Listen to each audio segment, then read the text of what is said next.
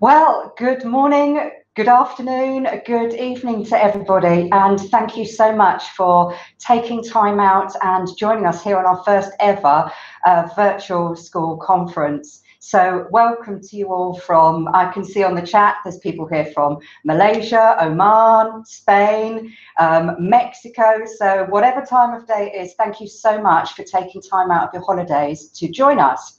Um, a quick bit of housekeeping before we get started. Most of you have already noticed the chat functionality on the right hand side. There is also a um, questions button, which is a private questions. So you can uh, post any questions and the team are there to to help you out. So um, there is also hashtag Frog20 if you would like to tweet. We've also got a little bit of fun going on today, which is about tweeting your seat, and you can tweet the various positions that you're sitting in and all the things that might be around your desk. And Mark Anderson in his presentation later on around uh, lunchtime, so in about three hours time, will be uh, announcing the winner of that. So um, first up, I would like to introduce our first speaker and to open the day is our founder and managing director, Gareth Davies. So good morning, Gareth. Morning, Lucy. Good morning. Um, how are you? I'm very well, thank you very much. Very well, looking forward to this morning. So we're very much looking forward to hearing from you. So I will disappear from the screen now and hand straight over to you. Thank you for taking time, Gareth. Okay, thanks, Lucy.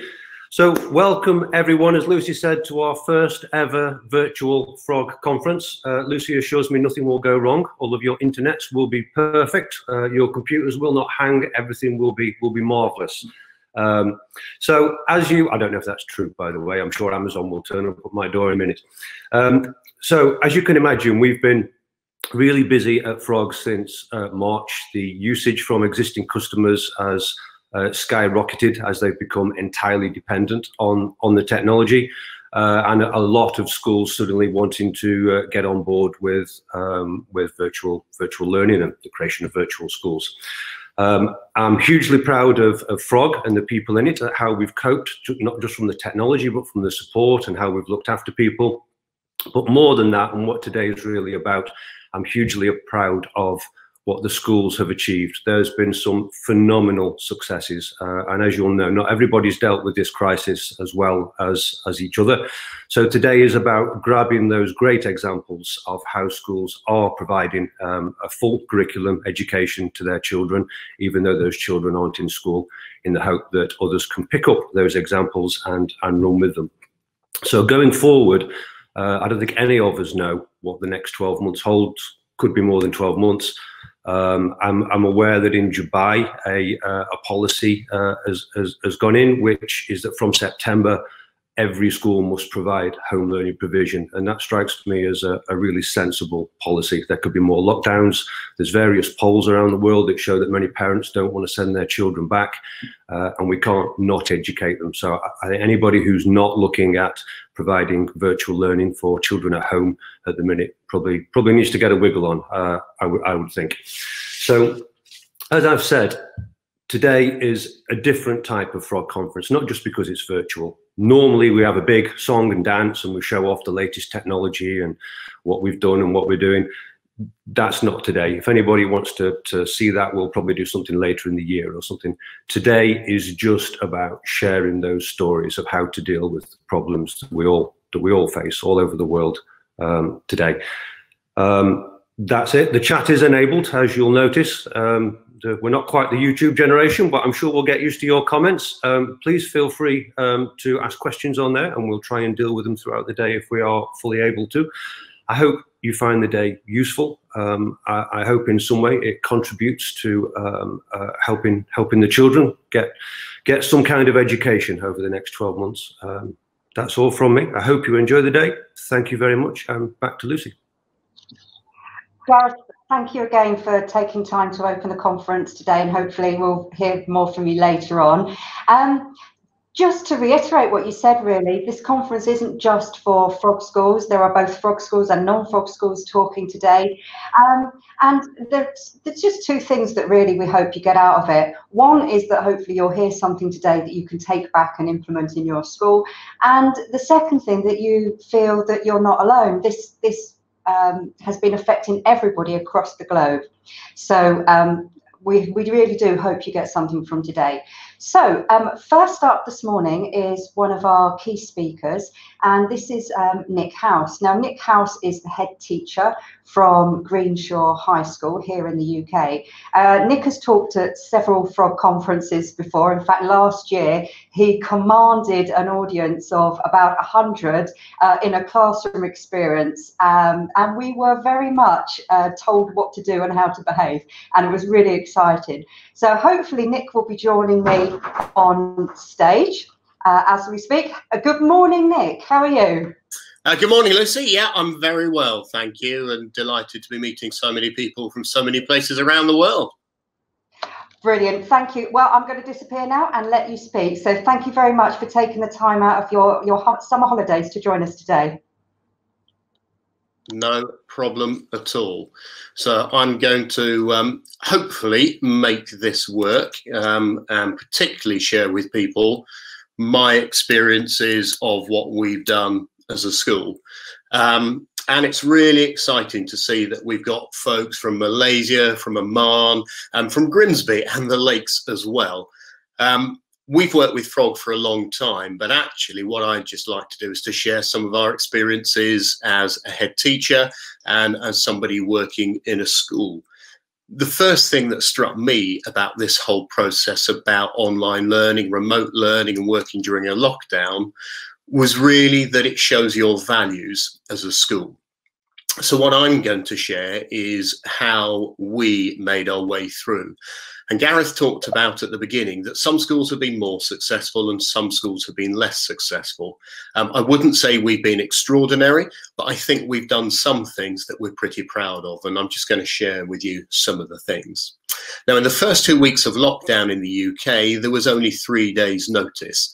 Um, and so we had to come up with a plan at very short notice that didn't have lots of online videos and didn't have lots of content, but was really about supporting families and young people with their structure. Um, and I was quite cautious, for instance, about saying things like, should we tell teenagers in our school what they should be doing, particularly about what time they wake up, um, about some aspects of their routine. But if you look at the screen in front of you, you'll see that we were really, really clear about what a structured day at home should look like. So the areas in this yellow area are things that I think I would describe as being more about general well-being. So we knew that adults who work from home have generally found that structure and repeated routines keep them more productive. And although I definitely don't want to think that 11 and 12 and 13 year olds are like mini workers working in industry, I think there are learns that we can take from successful people working from home and the risks of being at home are so many distractions. So we were really brave in the first couple of days, and we decided we would give pupils a schedule, not a timetable, but a schedule. Um, and so we would tell them roughly what time they should be waking up, what they should be doing in the middle of the day. Um, this day goes longer. I've just screenshotted the first two thirds of it. Um, what they should be doing at lunchtime. And interestingly, things like they should be chatting with family, siblings, be in touch with friends, not just picking up a device for social media or something like that. Now, we have a tutor reading program, which means that in morning registration in our school, our young people read a piece of fiction or non-fiction, and it's read by the tutor to the pupils. So we made that available via YouTube. We recorded the tutor reading with a copy of the book, and we had that read out every single day. And we wanted to keep the routine of school going at home. And I'll talk a little bit more about that at a later point. We also, as you can see on the right hand side, use Frog as our absolute host for everything. Because our homework is set on Frog already, it meant that people were really, really familiar with logging into Frog to access their independent learning. Um, I always say at these events, I'm not a Frog ambassador. I'm not paid by Frog or in any way um, on their payroll. But for us, we use it as the single platform that then hosts lots and lots of other related areas. So we can embed a YouTube video, for instance, on Frog. So everything that you can see on this screen here are things that we already had and that we were able to structure fairly quickly. But I said at the beginning, it's about your values as a school. And our values as a school are very much about well-being and a holistic understanding of the young person. I'm really proud that as head teacher, I lead a school consortium of 15 primary, special and secondary schools across Sutton who are working with the NHS. And we talk all the time about mental health and well-being.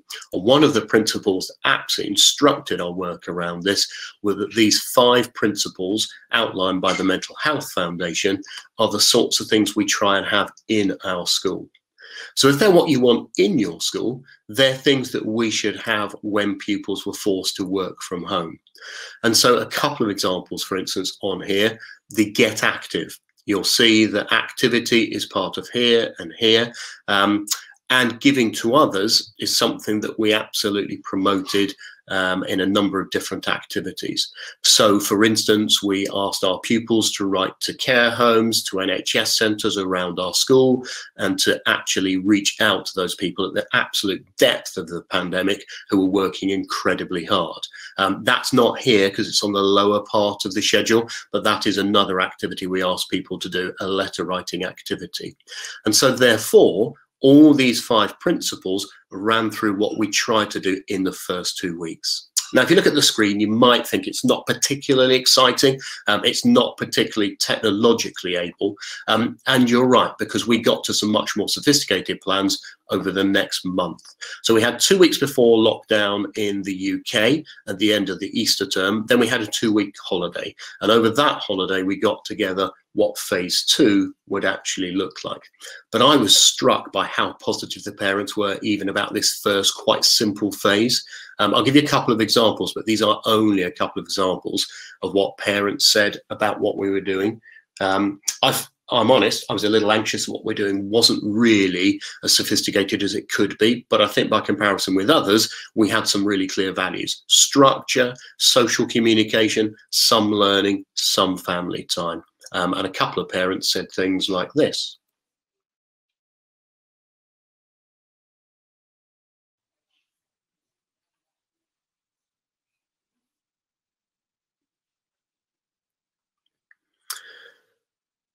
Now, my purpose in having a conversation this morning is absolutely not to say we're an amazing school and why isn't everybody a bit more like us. It's much more to say there are things that we've learned and lots of things we learn from others when collaborating. So I think it's quite interesting the things that the parents have picked out. Um, important to keep the structure and learning. Um, the information provided on the website is astounding. I think that might be a bit of an overreach, um, but a very kind comment. Um, structure was absolutely key for us, and making sure that parents knew as much as possible was absolutely essential for us.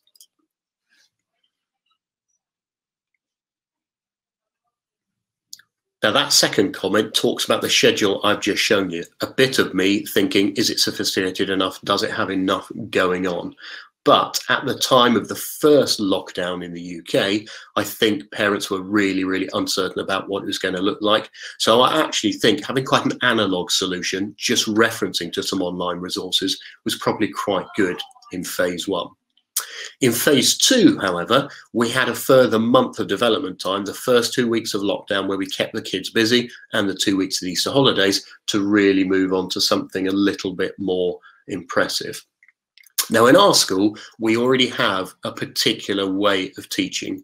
We don't have a set lesson structure, but we do have certain expectations. And just like every pupil was used to starting the day with tutor reading in the morning at 8.30, there are certain things our pupils expect when they arrive in our classrooms. Um, the first of these is not absolutely original. Um, you might recognize um, some of the phrases later on from other places like Doug Lemov's Teach Like a Champion um, and any of you involved in education research, you will notice some of these features. But we planned our lesson in four phases. And I think that was really important for online learning because young people had to feel a familiar structure to all of their lessons. So this one is taken from our geography bank. You can see it says lesson 19, impacts of water insecurity. But the lesson in four phases header at the top of this slide applied to every single lesson. Now, as educationalists, we're probably on a massively wide spectrum um, from progressive, liberal, real, um, creation, based educationalists to very much more the worst term um, is drill and kill. I don't like that. Um, but we will all have a range of views on the importance of knowledge, the importance of creativity, um, and some spectrum around that. For me, however, when we talk about remote learning, a familiar and repeat structure is absolutely key. I don't think young people can make good sense of education when they can't ask adults. They don't have a learning support assistant next to them or a teacher at the front. I don't think they make sense out of learning unless there is a clear structure. And our structure was based as closely as possible about what they'd recognize from the classroom. So we start all our lessons in school with a do now. And that's a term you might recognize from Doug Lemov, the author of the brilliant Teach Like a Champion, the handbook that talks about American charter schools and what they've done. So a do now in school is where pupils come in, get themselves ready, and there's a quiz basically on the board. Uh, there needs to be very little teacher instruction. The pupils in the best classrooms come in, sit down in silence and complete the do now.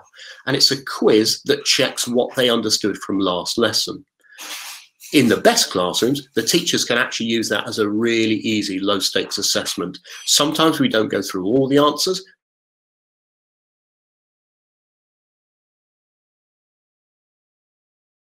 It was really important that we had a structure that kids were familiar with. So I'll take an example now from our lesson structure and what it looked like on screen. So this lesson, if you remember, was about the impact of water insecurity. And here are five questions. And this is exactly what our pupils would expect in lessons and exactly what we replicated for them online.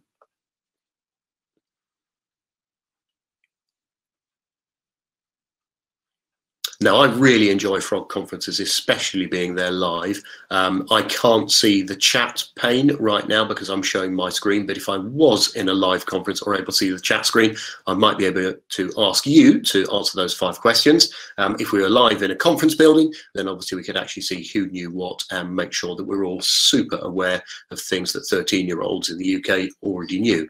Um, but if not, here are the answers.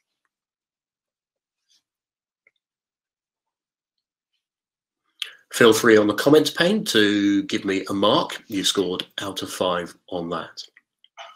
But the most important thing, if I go back a slide, is that we had a lesson that was familiar to pupils from A, what they knew in school, and B, all their online lessons were going to follow a familiar structure. So the do now is something that we expected kids to recognize and it helped them know the familiarity of the lesson. So the second phase after the do now was the phase of, I guess, content, the main lesson input. And we were really, really fortunate that in the majority of cases, we were able to record these. Now, because we're quite a big school, we've got 1,800 pupils, that means that in the geography department, as an example, we have six geography teachers. And we were able to distribute the curriculum to each of those teachers. So teachers did not need to write the same lesson for each of their year eight classes because that would have been incredibly inefficient. And so what we are able to do was to scale this out really, really straightforwardly. So this is an example of the main lesson input. Um, the teacher down at the bottom, Andy, our head of geography, if this was a streaming video, is live talking and he's combined some images and some text um, and will be audio talking across it. Now, in our school, we have about 30% pupil premium, which in the UK means disadvantaged pupils. So we weren't certain that we could have live teaching because we know that not all of our pupils have access to a device and they definitely don't all have access to their own device at the same time. So we recorded these as videos that pupils could download and could access at different times of the day. Um, that was our best solution for our setting. We're all in different settings around the world in different types of schools, um, and you will know whether live videos are a possibility or not. But actually, what we learned was that having all of our lessons across the curriculum in familiar phases, it didn't matter whether it was live or recorded. That familiarity enabled learners to engage more successfully. After the main lesson input, we then had a brief quiz. So the videos might be between 16 to 20 minutes. Um, that's a lot of content. In a classroom, good teachers use lots of non-verbal communication. They're scanning the room. They're looking at kids' eye contact. Yes, I know you're looking at what they write down, but actually you can pick up on the non-verbal communication of how well they're absorbing the content. So before we moved on to any task, we had a short quiz that just enabled pupils to check if they understood what had happened in the video. And if not, because it was a video, not a live lesson, they could always scrub back on the video and try and find any section that they weren't short on. Um, and I think that was a really, really important feature. We know in classrooms we can have teachers talking and delivering input, and then pupils just, we hope, absorb it, but we never fully know that. Um, so we did a short quiz at the end of the main lesson input to help pupils self-assess. Low stakes, not taking any marks, not taking any scores, just enabling pupils to have a bit of responsibility for their own learning. And so it looks something like this down at the bottom. Um, and again, the familiar format for every single lesson. So these icons, the multiple question marks, were not used by each individual subject teacher, but were used across the platform exactly the same every single lesson. And then at the end of the lesson, the fourth phase was an extended response where we we're asking pupils to actually write an answer. Um, and we did use the Frog platform to hand this in. Um, so this is an embedded PDF here. You can see this one is from a year 10 geography learning lesson, um, looks at the exam spec, and they could type their answers into the box, and that was submitted to the teacher. Now, because we're quite a large school, we didn't make a commitment with year 10, for example, that we would mark every single piece of writing. We did say we'd mark one piece of writing a fortnight, and we also said we would sample lessons, um, and particularly sample pupils' extended tasks, these, and we kept a log of the pupils we sampled so that we made sure over time that we sampled different pupils by gender, attainment, ability, and then we gave general feedback to the cohort. So in geography, we have about 120 pupils in year 10. If we sample, say, 10 of those pupils, rather than mark all of them, we were able quite quickly to pick up some diagnostic feedback that was really, really helpful for the students. Now, the advantage of the lesson in four phases that we went for was twofold. Firstly, familiarity with pupils having uh, a very predictable and secure environment in which they were learning. Secondly, it really helped teacher planning. So rather than having any kind of issues with different expectations from teachers, um, different types of content, it meant that we were able to make the stress levels of our staff reduced because they knew what the framework was they were producing for. Inevitably, when we learn new routines, the first couple of attempts take a bit of time. Cognitively, it's hard work to get used to new routines, but once you establish those patterns, it becomes incredibly efficient. And that's something that I think definitely advantage the pupils, but also advantage our staff. Now, as people who use the Frog platform in my school um, at Greenshaw High School, we were also incredibly happy that we could use a lot of data analysis. So we could see how many pupils had logged on. We could see when they'd accessed the resources. Even if they hadn't submitted the extended writing, we would know if they'd been online and we were then able to make contact with them via the form tutors and the heads of year to check out A, have there been any technical issues, but B, have there been any subject-based issues. So the lesson in four phases was really important and hosting it on a platform that gave us the ability to know who had done what was also incredibly important. And then the last thing um, I just wanted to share was going back to that broad principle from the Mental Health Foundation, um, connecting. So phase one was talking about the first two weeks where we scrambled stuff together. Phase two was where we had a much more coherent learning package in a four phase lesson for each subject. And then phase three was connecting um, by which I mean staying in the community. So it's really, really important for me that our school is a community. We're a very, very suburban school. The vast majority of our pupils don't use public transport. About 90% of our pupils walk to our school. Um, and whether you're in a school that has pupils using all forms of private and public transport, or whether you're in a school like ours that has everybody walking on foot, it doesn't matter. As soon as they come into our building, we hopefully believe we're constructing a community.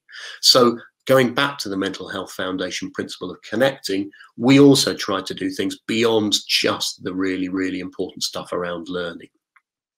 So we sent texts, emails, and made phone calls to families and students around what they'd done, particularly recognition texts. So we aim to have contact with every pupil's family at least once a week. Now, in a big secondary school of 1,800 pupils, that can be a real challenge. Um, so we made it systematic by using some of the analytic data off our database, we were able to then pull down the pupils who had had greatest contact, uh, the pupils who had made the biggest changes, and we were able to send some quite intelligently worded emails and communications that were generic, but if you craft them right, they don't come across as standard. We're all used to receiving standard communication from companies and corporations. But if you can actually word them in a smart way, you can make it seem like they've got a level of individuality around them. And that was incredibly well received by our families. It also gave the pupils a sense that they were working for something. They would have got very little feedback otherwise. They would have been pumping work into the ether and not necessarily sure that it was being picked up or being responded to by people. So, because of our values as a school about trying to connect everybody together, we couldn't just send them away and not speak to them for 14 weeks. We absolutely had to connect with them. Um, that meant really trivial things. I was really proud that every form tutor contacted every young person on the date of his or her birthday.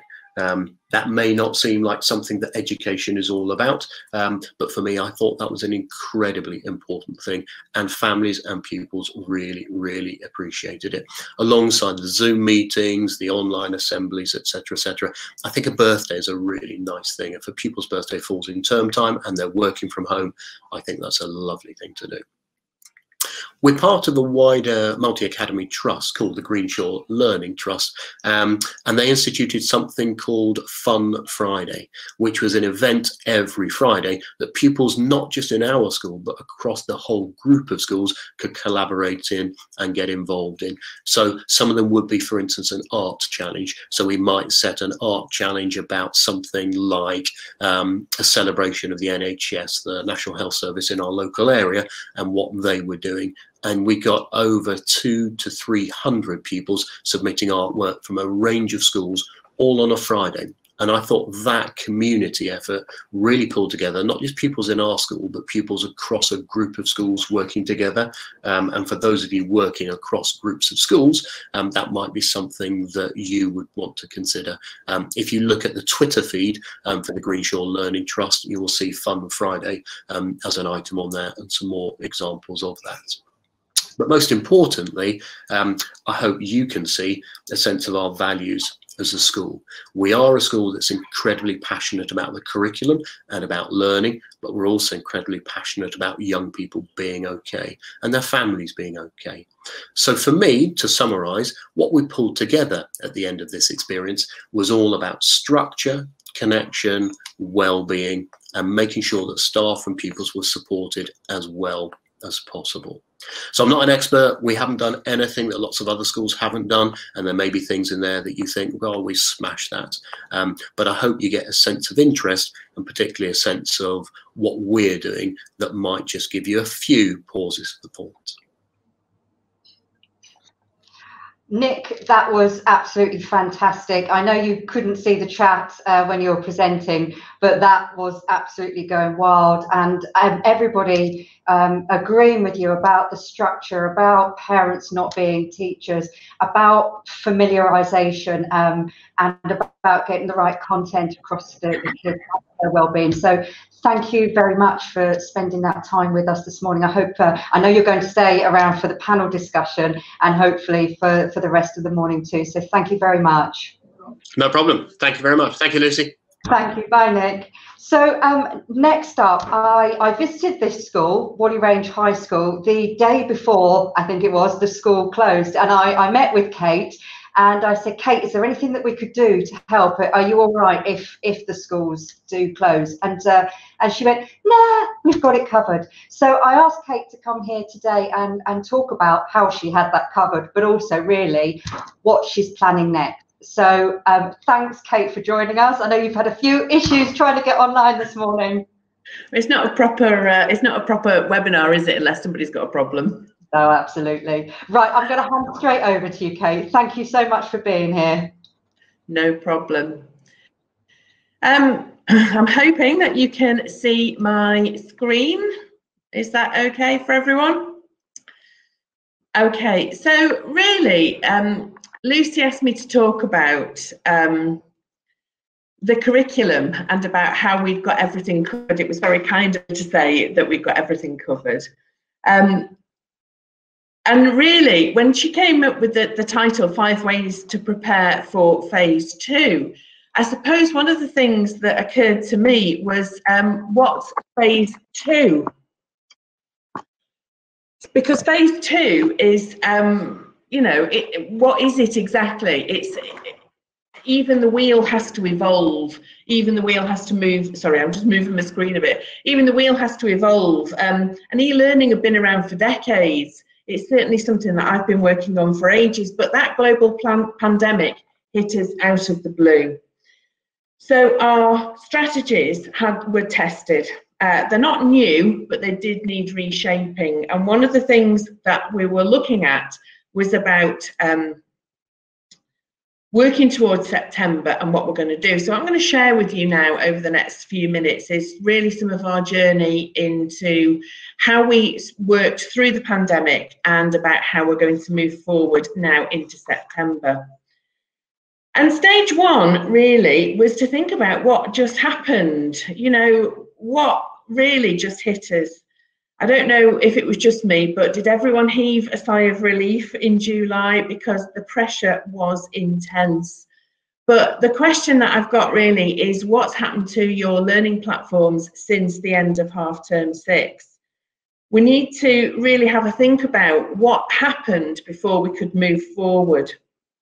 So one of the things that I've done is I've audited our VLE, our learning platform, to have a look to see where we ended up. Certainly we all started off working in the same direction, but perhaps it didn't quite look the way that we were imagined back at that point where it was all just one of those wonderful, nice to have things.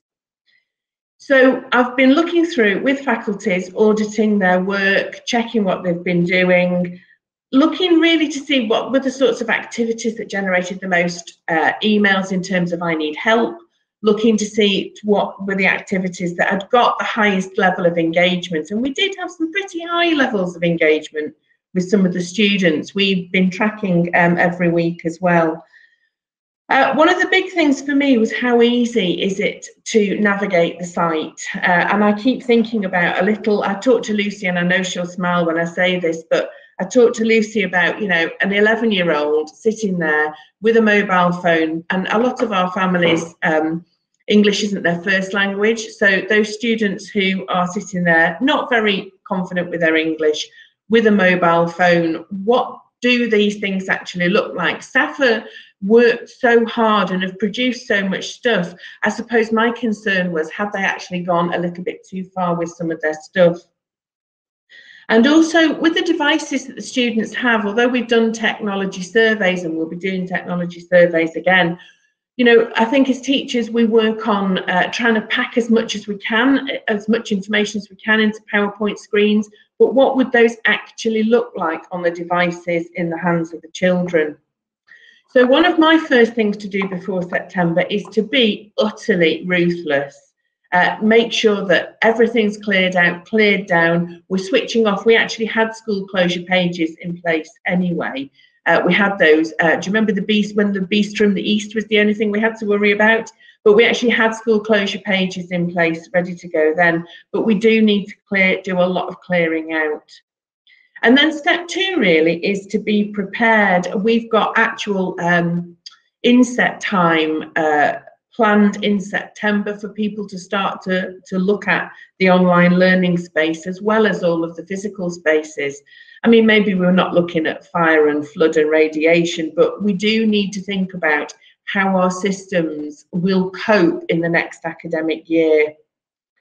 It's important, I think, when we're planning the curriculum moving forward that we need to think about what will work if we have to go back online and what will work if we're going face to face. There are some uh, topics which I'd only like to do in the classroom, and so it's important that we prioritise teaching those. But there are some things that we can do online. But one of the plans that we're working through with our heads of faculty now is to make sure that that curriculum planning is um, agile enough to be able to switch between the two different systems. We certainly, one of the things that we found uh, with the staff is that they like to present the big picture. They like to present everything on screen, all of the lessons, here's the whole topic, here's the whole unit. But we found very quickly that the students got very confused about that. And maybe the the audience for that big picture stuff isn't all of the children. Maybe the audience for that are parents or other teachers so again one of the things that we're looking at for september is that the things that are there online ready to go are small small learning experiences small learning episodes that are very clearly signposted and which have some really consistent instructions Again, one of the things I found is that staff, as time went on, the use of some of their language slipped. So they would use um, a phrase in a notice about a piece of work that didn't quite match with the piece of work that they were sending out or that was the, the piece that was in the assignment. And so it's important that we just sort of regroup and regather really. The DFE have been putting out an awful lot of information in the last few weeks. Some of it uh, has been quite controversial, uh, but towards the end of lockdown, they did actually put out some advice about September and whether you like it or not, whether you go with it or not. Uh, the one of the sections was about moving forward. By the end of September, we all have to have systems that offer interaction, assessment, and feedback. And those aren't bad things to start with if you take my presentation away at the end, you'll see that I've actually listed all the ways in which frog is used in our schools to, to address all of those things.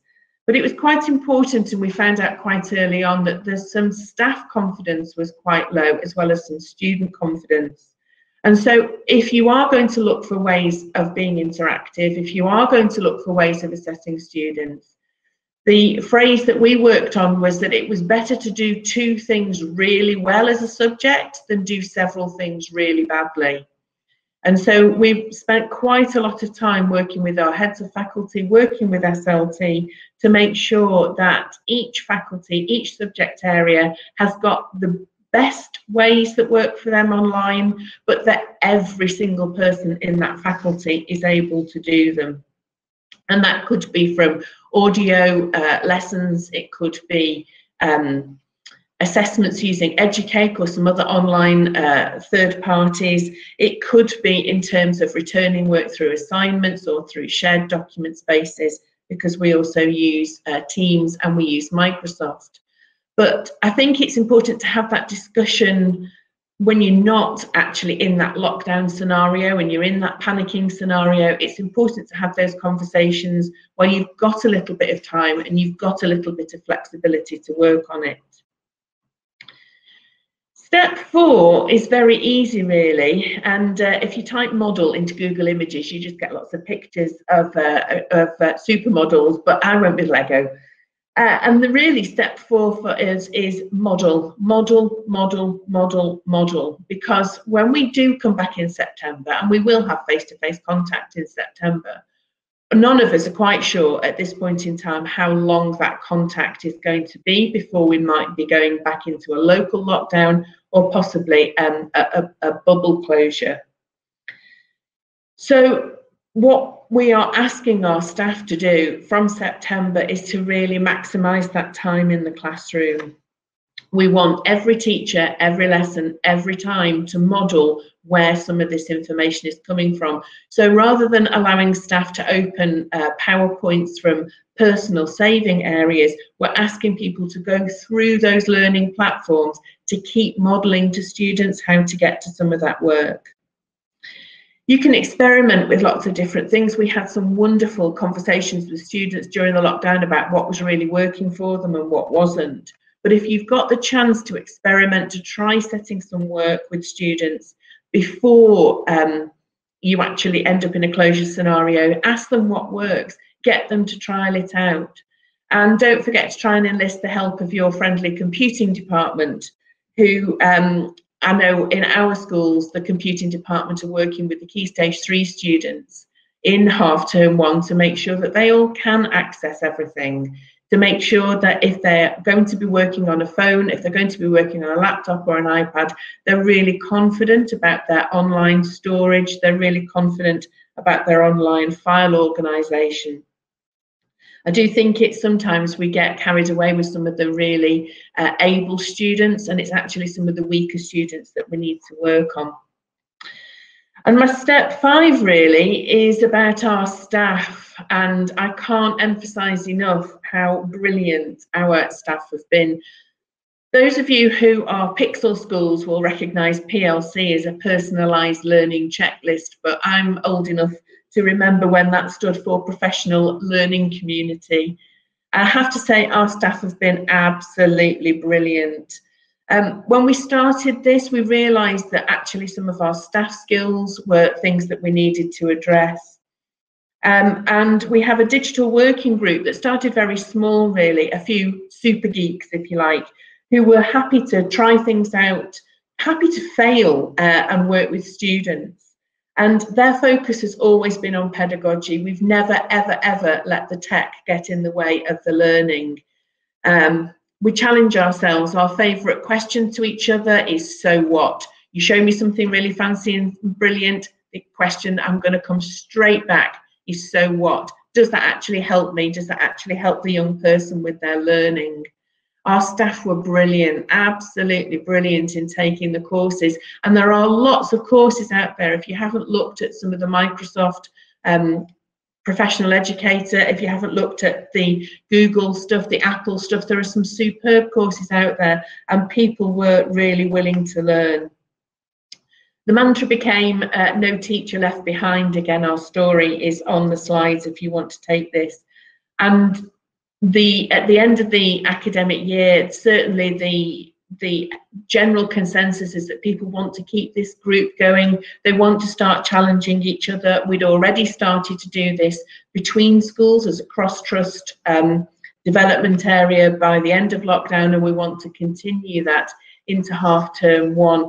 Um, one of the big things for us at the moment is, is about assessing the quality of the assessment that's happening. If we're using quizzes, if we're using third-party software, does it really give us the information that we need? Again, we not, don't want to do things because they're super shiny. We want to do things because they actually mean something to the children. So that leaves us back where we are at our final reiteration as well. What's the next wheel going to look like? I have absolutely no idea. I don't think any of us do. But I do know that I've got some amazing, um, amazing staff who will work and to, to move heaven and earth for our students. I know we've got some amazing students who will really come on this journey with us. And I know that we've got mechanisms in place and we've got agreements and we've got principles in place that means that we can adapt. We've already proved that we can do it. I'm sure we can do it again. We've got the willingness to do it, and now we've got even more expertise to do it. So, moving into September, no teacher left behind, no child left behind, uh, and more importantly, just to make sure that the learning stays relevant, makes it stay fun, and really keeps it keeps it together for the kids, which is what we're all here for in the first instance. So those are my five steps, my journey moving forward.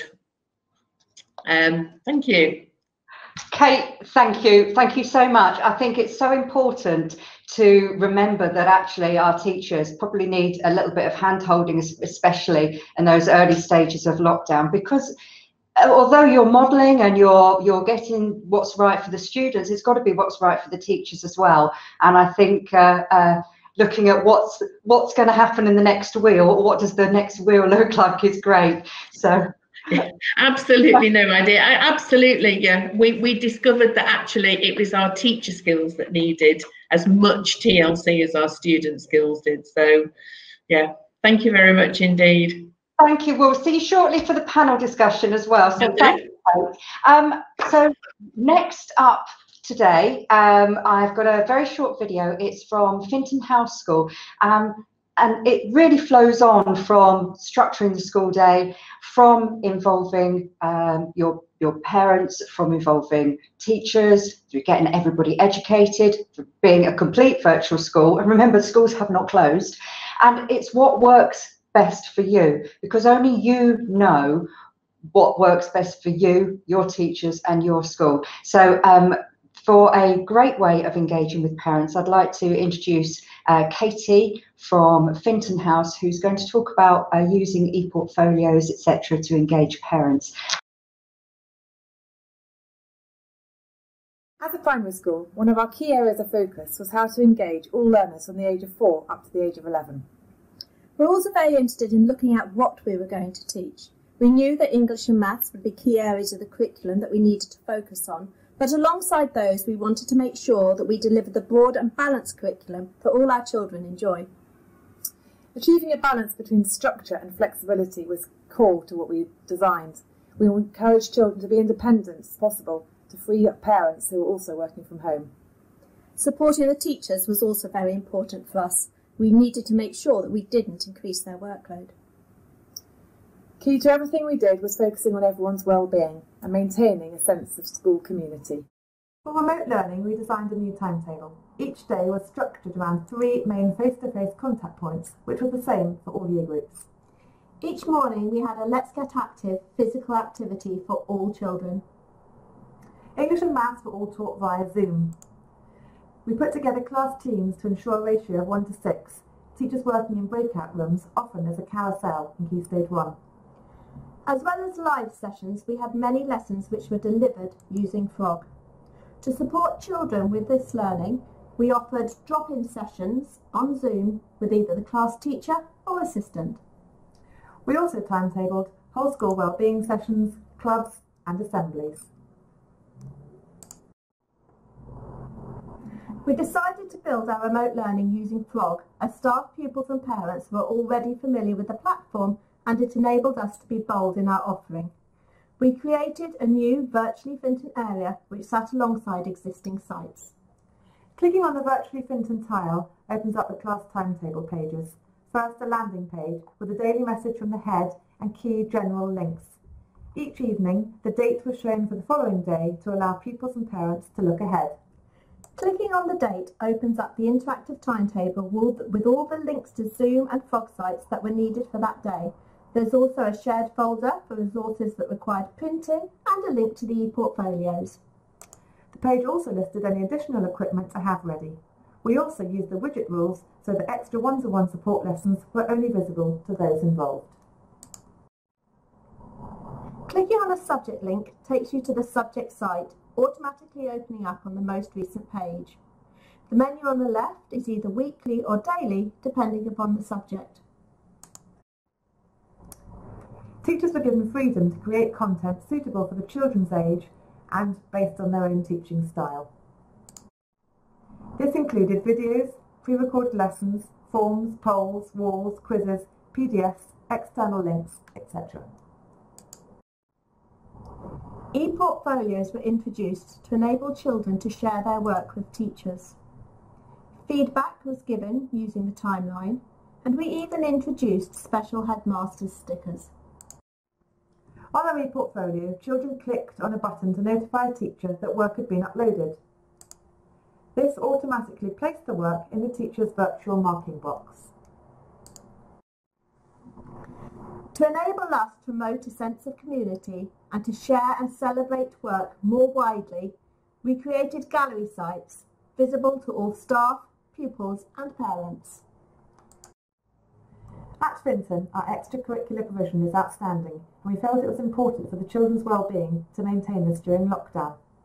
Each week there were new clubs on offer and throughout the term the club's pages were visited over 16,000 times. Each week finished with a pre-recorded assembly which focused on celebrating the staff and children's work as well as injecting an important element of fun.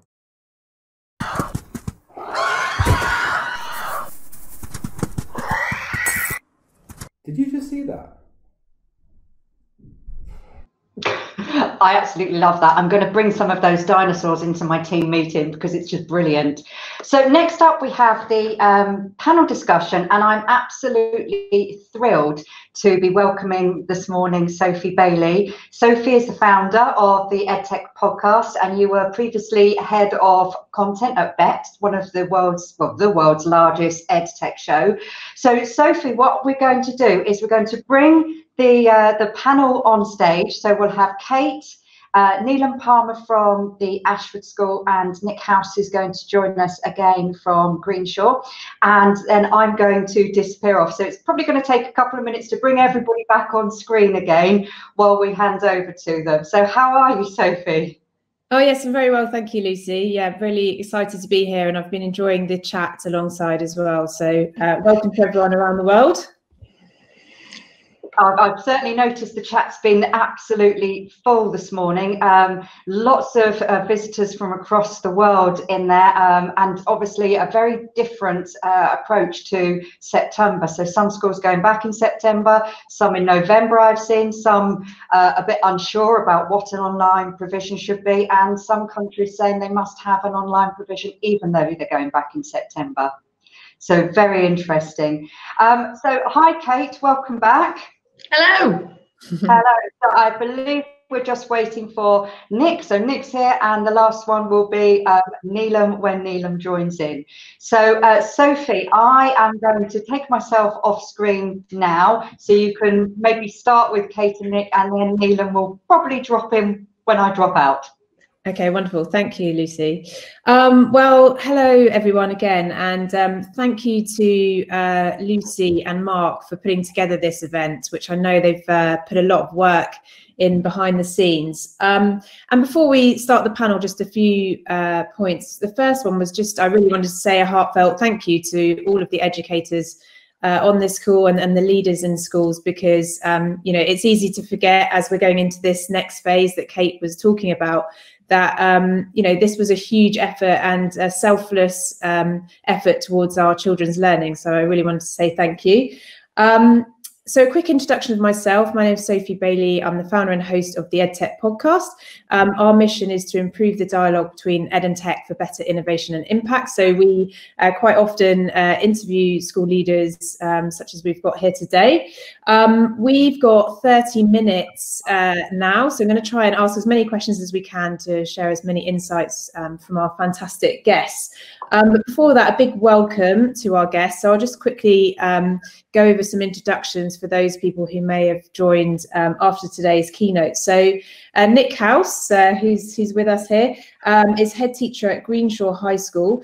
He was described apparently by Ofsted as having impressive clarity and drive, which um, I very much, uh, I very much uh, crave, um, uh, having had a lockdown baby. So uh, enjoy that, Nick. Um, Kate Wragg is Deputy Head Teacher at the Education and Leadership Trust uh, and Teacher of Computing and also the Cross Trust Lead on e-learning and e-safety. So a powerhouse from Manchester with us. And uh, hopefully later we'll also have uh, Neelam Palmer, who is the Director of e-learning at Ashford School.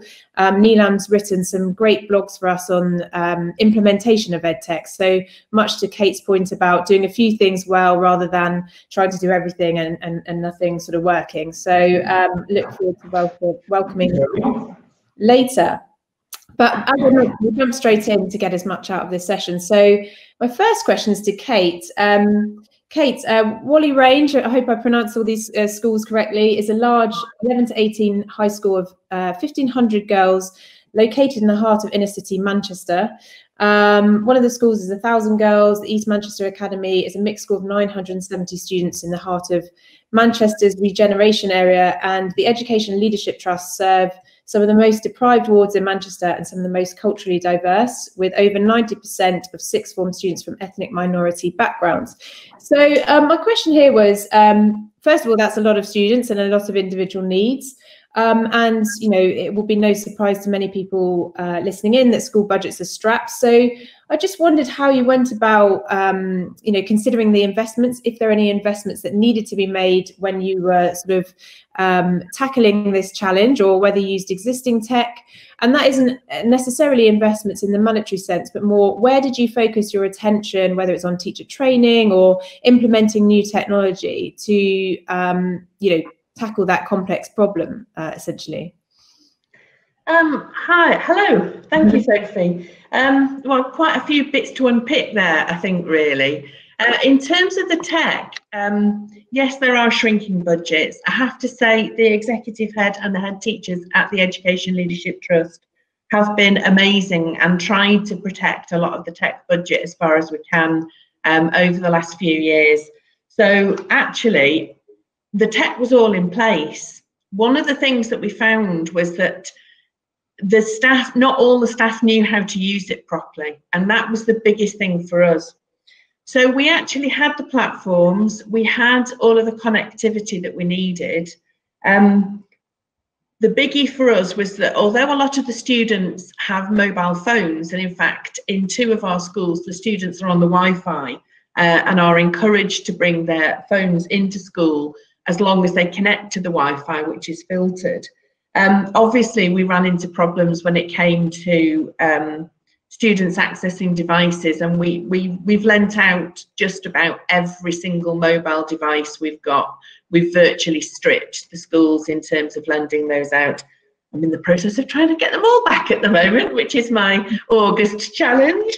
Um, yeah. yeah, that, that is a biggie. We, we, we had devices that came through from the DFE 136 devices across three and a half thousand children. So yeah. that didn't go very far. We've worked with local charities, we've worked with um, the, the, local authority. We're just trying everything that we can really to, to try and get as many devices out there as possible. That's one of the reasons why we want to do another tech survey in September because um, you know, even though we'd lent devices to households, we discovered perhaps that one household might have five children using one computer. So when we set up the timetable, one of the big challenges for us was not to have a timed timetable because the students could be accessing it depending on when their um, time slot with the device was. And so we we did um, a very similar timetable to the one that um, Nick showed earlier. And ours were called sessions, and there were, they were hyperlinked through, but there was no prescriptive time. The only time that was prescriptive was when there were some um, live lessons via audio, some via video, but they, they were at drop-in points in the week. They weren't specifically, it's Tuesday, it's 10 o'clock. If you do business studies, you've got to be here. We ran as many drop-in points as we can to offer access, but it is a big challenge.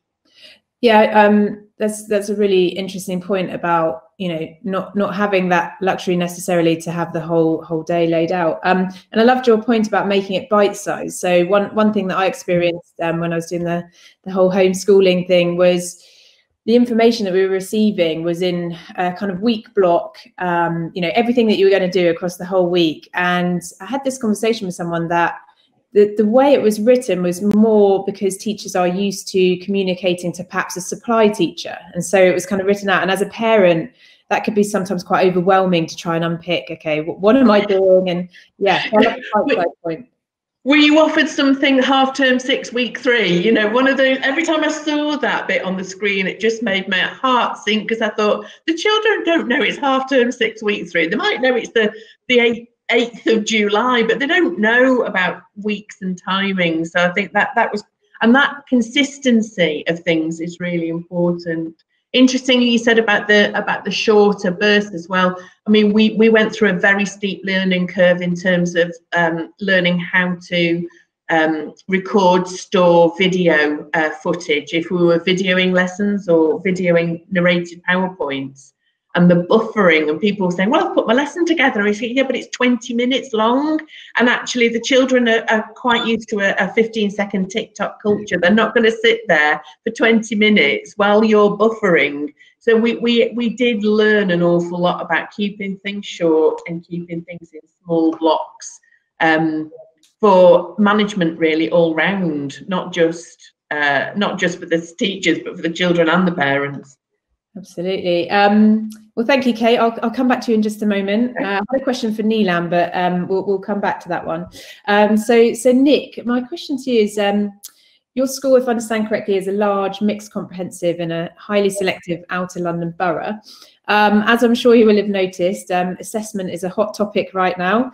Um, so I was keen to find out how your school managed to continue uh, assessing students remotely and whether there's any learnings that we could take from this approach uh, on, a, on a sort of more macro level with everything that's going on in the exams crisis right now. Yeah, I mean, so one of our things that I'm really proud of is we're also a research school. Um, so we were identified by the EEF as having some skills and knowledge and being a useful school to work with other schools across South London and the Southeast. Um, that means when you talk to me about things like assessment, I'm going to get really fussy and really detailed and pedantic about it. Um, so assessment means lots of different things to lots of different people. In our school, we're really, really clear that enormous amounts of teacher marking is not assessment, um, is feedback. But where we want to assess, we want to really know what young people have understood and what they can do. Mm. Um, and I think, if I'm absolutely honest, over the summer term, our greatest focus was not on assessment. Um, I think we were quite clear that the nature of learning in a remote situation was going to be profoundly different. Mm. Um, I did say in my presentation that where pupils returned work, we sampled their work.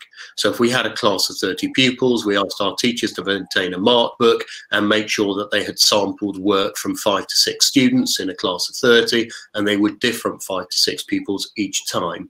Um, and then we would give general formative feedback to those pupils. So these seem to be some of the misconceptions. This is the kind of thing that we think we might need to return to as a group. In terms of pure assessment, um, I think there are so many complicating factors. We're assessing for learning and to know where the kids are at. We're not assessing as a summative activity because you don't know how long they spent on a task, what other external resources they might have used online typically. Um, so I think the notion of assessment is actually really complex. I think if I'm also serious, the biggest area we sought to assess was kids' well-being. Mm-hmm. And that's incredibly difficult online. So use proxies like engagement rates. So how frequently are people logging on? How frequently are they turning in work? Um, and I genuinely, and I'm happy to say, as a national state-paid DFE head teacher, um, that the biggest thing I was assessing for our young people was engagement rates, connectedness, and just being in the game. Um, and I think that's the most important thing we assessed. Absolutely, and I'm I'm really pleased to hear you say that because one of my big concerns was less the academic side for my son; it was more the socialisation and him sort of being stuck here on his own um, was a bit concerning. Um, and I loved your point on familiar, familiarity. Um, we had a past guest on the podcast before called Ted Fujimoto, and he talks about school reform and he talks about relationships, relevance, and rigor. So this idea that actually the underpinnings of some of these things are actually quite boring. It's just you know making it's the consistency, um, which isn't very um, glamorous, but but is what kind of gets things done as well. Um, but on the note of familiarity, before I move on, um, when our son came back, uh, I was one of those parents that thought, okay, keep your school uniform on because you know then uh, you'll feel like you're doing you're doing your school schoolwork and everything. And strangely, when he went back to school, they didn't have to wear school uniform. So that's the kind of mm. uh, topsy turvy world we we live in at the moment. Um, my my sense of familiarity and routine has changed massively. I think when I was naive and a young teacher and didn't quite know what I know now, um, I thought that teenagers should be quite adaptable and flexible because the world, as I saw it, was messy and complex and unpredictable. So, therefore, why shouldn't teenagers be able to get one sort of lesson in history and a different sort of lesson in French? Um, and now, as I'm also a parent of a teenager myself and a little older, I know that teenagers, particularly talking to secondary colleagues in this meeting, um, they've got a heck of a lot of change going on in their lives already um, around their own identity, around their emerging sense of self. Um, so to actually to have some familiarity and routine is really reassuring. yeah, it is quite dull. Um, and yes, it's not some super breakthrough research PhD, um, but I think it's incredibly secure and helps young people feel stable and feel familiar. Um, and I think teenagers need that as much as anything we can offer them, whether that's in the school or online. Absolutely. We, we did an episode before on self-directed learning and um, the, the, the question there was, you know, if teenagers don't have their prefrontal cortex completely developed, you know, are they actually capable of, of um, doing all the things that we would expect out of self-directed learning? And some, perhaps sometimes that's a bit of a big ask. Um, so another question for Kate. Um, your responsibilities at ELT also cover e-learning and e-safety. Um, and we've heard on the podcast about terrible sort of safeguarding incidents during COVID, um, uh, as well as the sort of much documented attainment gaps um, expanding um, due to the digital divide. And you may have covered some of this in your in your last answer, but um, what's this? What's been your school's approach to these problems, and how can tech be used to perhaps sort of tackle some of them as well, if it if it can indeed? Yeah, uh, that was one of the things that really uh, worried me actually. Safeguarding uh, has to trump everything really in terms in schools. And one of the things that worried me about the DFE offer, as wonderful as it was, and there were lots of other offers from companies about lending kit. Um, I actually asked somebody um, at the DFE in a phone call to them and said, "Can you just Tell me though, you're offering these webcam enabled devices with internet dongles to the families who've got the least experience in terms of using these sorts of things safely. Well, you know, just generally from a work point of view as well as the safety point of view. Um, you know, what what safeguarding points are you actually going to put in there? And I think that in the end they did actually put in some web filtering but I have to say, we have got some absolutely gifted um, technicians here, and my infrastructure manager is amazing. And managed to work out a way so that every device that we lent still went through all of our filters.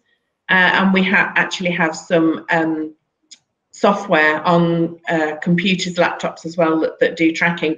And that's true whether you're a, a, brand new year seven or the executive head teacher, the same safeguarding software is on every single device in the school. Um, nobody's left out of that, that particular um, bubble, as it were. That's the other reason why we want our students on our Wi-Fi rather than on data plans you know, we find very often parents come in and they say, oh, my child from X, Y, and Z on the internet, but it turns out they've got an unlimited data contract. And actually, if they were on our Wi-Fi, they wouldn't be able to get to a lot of the things that are there. Yeah. I suppose overall, you know, one of the subjects in our timetable as well was um, citizenship and PSHRE and safety, and we pushed an e-safety message out there every single. But I don't know if Nick experiences the same things in his field, but the number of children who end up sitting there, usually in tears in my office, saying, "I know I shouldn't have, but I did." It's, one, it's a really hard, really hard message to get across. I mean, two things that strike me about teenagers. Interesting what Nick was saying about about teenagers. The other thing is a lot of people say, "Oh, teenagers use their mobile phones; they know what they're doing." But actually, a lot of teenagers don't know what they're doing with their mobile phones. They're really good at doing one or two small jobs, but they're not tech geeks. They're not forward thinking in terms of the damage that they might do they're not um, they're not experienced enough, I suppose, to understand how important this impact is going to be on their life. I've spent just as much time during lockdown emailing Instagram, emailing some of the big companies, asking them to take down posts, asking them to take down fake accounts. Um, and we just keep trying, we keep putting the message out there and we keep supporting the students and the staff when problems occur. But I would like to see some of the conversation change so that government are actually talking to some of these big social media companies. At the moment, if you're dealing with an issue with a young person on a social um, media platform, it's almost impossible to make headway with them um, they're, they're faceless sort of black holes that take mm-hmm. emails and um, they just don't respond no matter what you say. And I, I, would like to see government tackling some of the big social media companies alongside some of the digital divide. Other than that, we just keep going with the lessons. We keep going, and more than anything else, we talk and we report. We were doing weekly uh, contact, phone contact with all of our students as well to make sure that they were okay. Yeah, I love I love the idea. It's such a simple idea, and, and I know when you scale that up, it's a lot of work. But the you know calling calling people individually, whether you know on their birthdays or other moments to check in, is is massive. And I know I have friends that that have, have been doing that, and um, you know the work involved. Um, so I know Neelam um, hasn't been able to make it, but one point she made on a previous podcast was um, that in this age of remote learning, um, sort of the, the the teachers that haven't perhaps um, put, you know, where lessons aren't engaging, there's nowhere to hide because of the data that you've mentioned that you can collect in terms of perhaps uh, people logging in and that kind of thing. So through looking at some of the back ends of these platforms, have you been able to, you know, redesign some of your lessons or sort of iterate what you're doing? And have you got any lessons to share with people that are watching or listening in about you know you talked about earlier making things smaller. If there's anything else like that that you'd like to share that would be great as well. So one of the things that we all of us were stepping into a slightly unknown world and i think there are companies whose raison d'etre is online learning. So if you think about somebody like a maths provider, like Hegarty Maths, for example, um, they've learned this stuff, they've done this stuff, and they've gone through this a number of iterations. Um, schools do not have individual expertise to be able either to create the, the platform and the infrastructure or the pedagogy and the really known things that hook kids in. There are things about the way that Hegarty is designed that are really smart. There are things about the way Tassomai, the science quizzing platform, is designed that are really smart.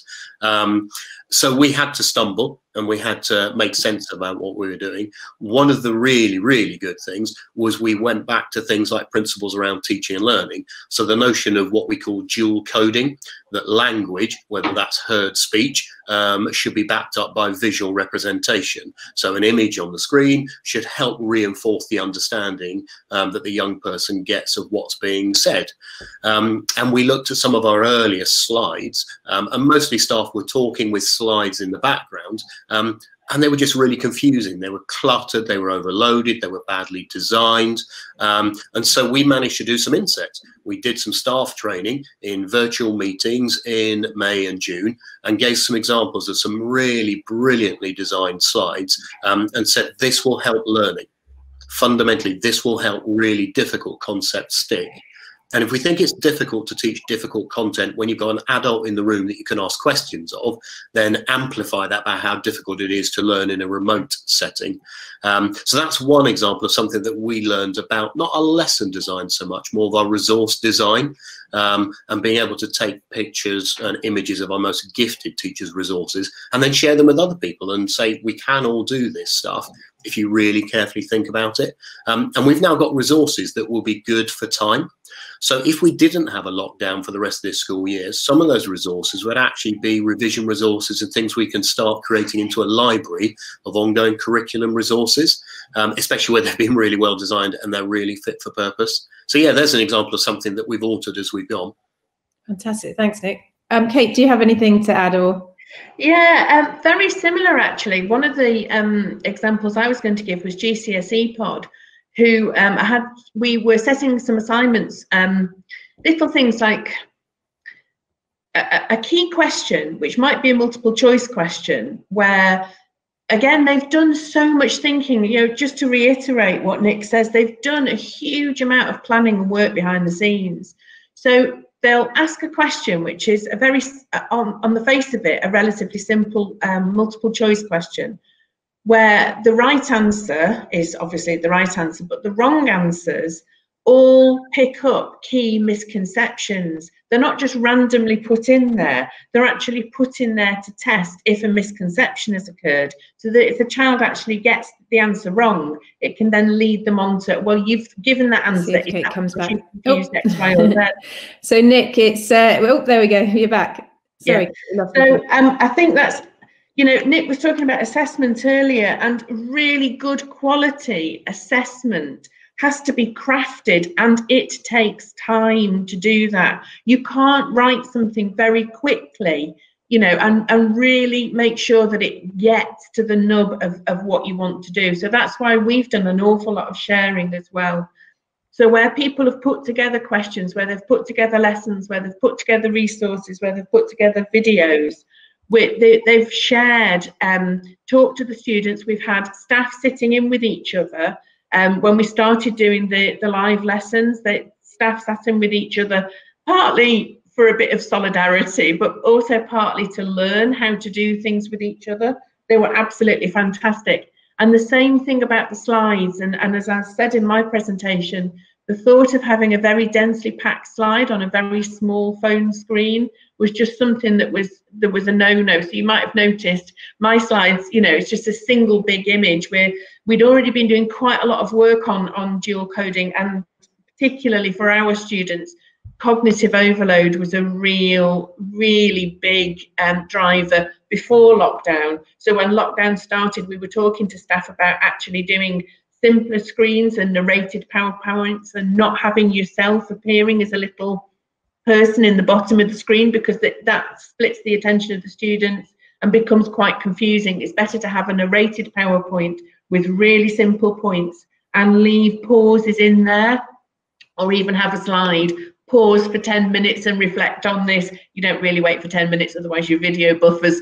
But it's you know actually there were key points where we actually even had slides to tell children to stop and think um, and actually do some reflecting before they moved on to the next bit it's it's been a it's been a development of our teaching and learning it's not new but it's developed it very rapidly in a way that we were hoping to go. It's just developed it in a uh, you know in a different time scale for us. Brilliant. So, well, thank you so much. Um, I was going to ask one more question, but we've run out of time. But perhaps you can pop it in the in the chat, which would be, you know, we often talk about what you what we add to make uh, teachers' workload less, um, and and perhaps what we can do is um, have a think about one thing that you would take away. But I'll, I'll leave you to add that in the chat, and um, otherwise I will get told off by Lucy. And um, both of you, thank you so much for adding um, a bit of extra insight with this uh, discussion. And thank you very much. You're welcome. Thank you. Thank you guys. Nice to see you.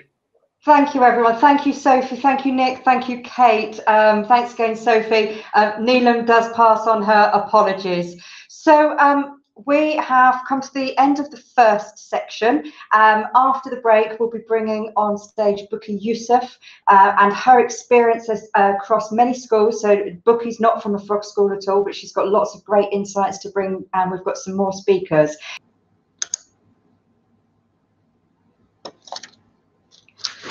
Hi everyone and welcome back. So um, I hope you enjoyed the first part of today. This next section is uh, started off with um, a lady called Bukky Yusuf. Now Bukky has had over 20 years experience in the EdTech uh, in, in, teaching, sorry, and is a passion is passionate about education technology, uh, especially schools having a digital strategy in place and has got lots of experience from many other educators that I know she's going to bring to uh, to the event today. So, hi, Bukky, how are you? Hi, Lucy. I'm fine, thank you. You all right? Yeah, I'm I'm doing well. Through the uh, initial morning nerves, and now we're we're chugging away, so it's all going very well. So I'm going to come off screen now and hand straight over to you. Okay, thank, thank you so much. Thank you. Okay.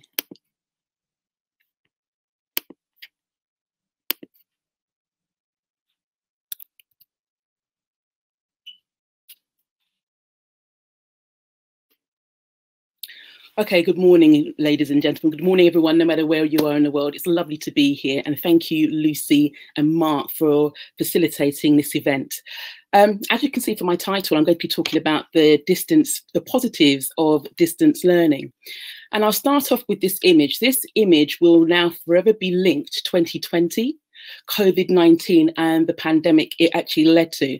So, no matter where we are, where, no matter where we presently are in the world, whether we work within state schools, independent schools, we were all completely taken by surprise when things change in terms of teaching and learning from what we're used to in terms of teaching within a classroom setting, a school setting with our students, and this concept of online learning. So no matter whether you use the term online learning, remote learning, distance learning, many teachers felt, as you see depicted in this image, in relation to this particular term, because it was moving completely away from what we were actually used to. Yet, Teacher Tapp. So, Teacher Tapp is a service within the UK that undertakes surveys every single day with teachers across the UK by posing three questions.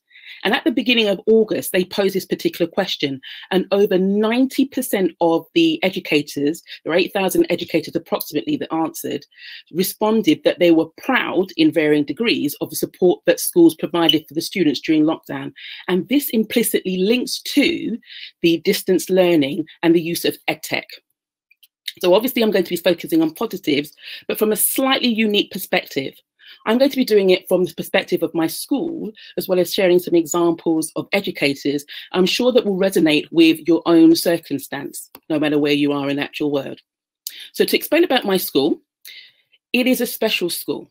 So every single student actually has complex learning needs and they have an EHCP, and it's also alternative provision. And by that, it means that every one of our students, every single student, every child has actually been out of formal education, mainstream education for varying degrees of time, at least about six to nine months, and the most extensive, three years being out of mainstream schooling. And because of that context, we only have about 15 students who are aged from 14 to 19 years old. And they are taught in a one to one context. And I'll be honest and put my hand up and say, when we could actually see lockdown looming and going to distance learning, I was worried. I was thinking, how are we going to make it work? Because most of our students are tactile learners, so they need to actually have the physical resources to actually aid their learning and also to be guided through with the support of teachers or an additional learning, uh, um, additional adult in the class. But I'm going to share the positives of how we actually made it work in four different contexts. So the first context is uh, the communications, regular contact and clear communication channels. And they were in all of these regards, formal, informal, and unofficial. The relevant staff members, so we have KEYS members within our school who are the only ones that can be in contact with our families, whether they're the parents, carers, or guardians of our students and they will ask a few basic questions. First of all, how are you? Looking at how they were and understanding the context in which they were actually operating within so that we understood and made no assumptions. And then we ask, what technology do you actually have at home? And they were very open and honest because they could see from the get go that we were there to support them and to support them during this challenge and also support them to do the distance learning that we undertook we got some very honest answers. So we had a clear idea about what was actually in place. With staff, there were regular communications. So we had daily briefings, both in the morning and in the afternoon. In the morning to set things up so we could actually see what we're going to be teaching, the students we we're actually engaging with, and a reminder to note any concerns or note any positives that we actually saw in what we called our COVID-19 log, a Google spreadsheet just to act, um, log things so that if there are any issues we need to act upon, we could actually do that. We had regular staff updates of key aspects. So obviously changes within the government and also if there were any things that we actually heard that may actually impact upon the learning of the students, we actually kept abreast of that, as well as staff discussions. Now we had WhatsApp groups, so there were frequent and informal communications. If we needed to get messages shared, this is how we actually did it. Mindful of we were about the fact that there were some concerns at the very beginning about WhatsApp and privacy, so we never ever used any students' names, but we still made sure that the communication flow was there. We used the Zoom meetings and also phone phone calls where necessary if things were emergency and we actually had to get in contact. Now, this provided us a strong foundation of communication which was open, transparent, flexible, and fast between the staff, our students, parents, carers, and guardians, and the wider school communication. And this facilitated the distant learning that we wanted to undertake. Now, the second aspect that we had to consider, and we actually got some positives, were the teaching and learning. As I said to you from the, uh, the very beginning, our context was, is unique because a lot of the resources, they have to be hands-on for our students. We had to learn really quickly. We knew from the honest and open conversations that uh, many of our students, our young people, and their families only had access to the internet and the learning resources through mobiles. So we had to be proactive and think, how we're we going to make it work? But it worked really well for our practical subjects. So where we had subjects that were actually helping students to develop particular skills, say, for example, like cooking, we were able to do this through the mobile, but we'd also reminded parents about the fact that not only should you keep your children safe, and we shared this with e-learning learning guides, we also remind them whenever we actually take um, lessons through the mobile, you have to be there to support and that, that reinforce the safeguarding aspects. But our staff rose to the challenge. Prior to the lockdown, I'll be honest and say not many of us actually used EdTech or any form of technology to actually aid the teaching, but we, we learned quickly. So we use predominantly Google Classroom to actually share and upload resources for our students, Google Meet, Zoom, as well as WhatsApp. Again, with key staff actually facilitating the phone calls, the video phone calls, so that facilitated the relevant lessons where it was actually necessary. In addition to this, in terms of the flexible teaching and learning, we still continued with our um, professional development. They were from an external basis. So things that we were actually learning, it was really positive to see a lot of free CPD being offered around the UK and even around the world that we could actually bring into our schools and bring into the lessons that we're actually trying to deliver and also share key messages with staff. In-house, though, we actually offered, as Kate Wragg said, bite-sized training opportunities. So no more than five minutes and very practical. So for example, how to include audio within your PowerPoints that could actually aid the learning. But what was even more magical is that even through this virtual space, we were able to undertake good practice, share good practice one of our staff members that teaches students with global learning delays actually showed the PowerPoint that she used from beginning to end that enabled them to continue with their learning in a meaningful way. And we could actually celebrate that and actually view it in ways we hadn't quite been able to do before. But it also reminded us that with regards to distance learning, teachers are also learners, and we did that in abundance. But the wow moments, the power was the fact that where we saw some students who maybe were quite passive in their learning through the virtual environment, they thrive, they learned. So the Google Classroom, at the beginning of the week, we actually set our learning activities and learning resources for students. And some of our students were able to engage with that and actually work to the breadth and depth at their own pace. We saw some students who were completely changed from being passive learners to independent learners. Many of our students had accelerated progress within the context of a distance learning. We could see improvements in their learning, which was heartening and showed us that we were doing the right things. But equally, because of our flexible approach, it facilitated high levels of engagement. The third aspect that we actually had positives in were regards to marking and feedback adaptations. So like many other schools, we have a marking and feedback policy, but we streamlined it just to remove the complexity and made sure that students were clear about what they had to do to three concepts. So any feedback that we gave in writing or orally focused on these three aspects, what was done well, what they needed to improve, and specific actions to implement, which were which was really powerful because where our students struggled with home learning, maybe because of the fact that they, because they've been out of school, they hadn't actually established the homework routines, we were able to use the lesson time online to actually get them to action things so they could see wh how their learning had actually adapted by updating information and the learning points. And that worked even within, say, for example, with art lessons, where everything was actually visual and through um, through, say, WhatsApp videos and things like that, even to emails. Some of our students did not like to be on the video. They did not want to be seen, but they still were want, waiting, to, uh, ready to actually learn. And so, for example, this email screen um, is an example of an email that I sent to pupil that still enabled the child to actually get feedback upon what they'd actually learned. Now, the fourth aspect is by all means, even though it's the last aspect of the four I'm going to be sharing, it is the most important the mental health and well-being focus that basically threaded through everything. Because of a quote that my head teacher shared at the very beginning of the lockdown experience and she said this we have to take care of ourselves in order to be in a good position to take care of our students And that basically meant the same questions that were being asked to our school community, our parents, carers, and guardians. How are you? How are things with your family? How are things with your, within your context? Meant that we as a team were able to support each other and put things in place as and when need be. But we also did this in a number of different ways.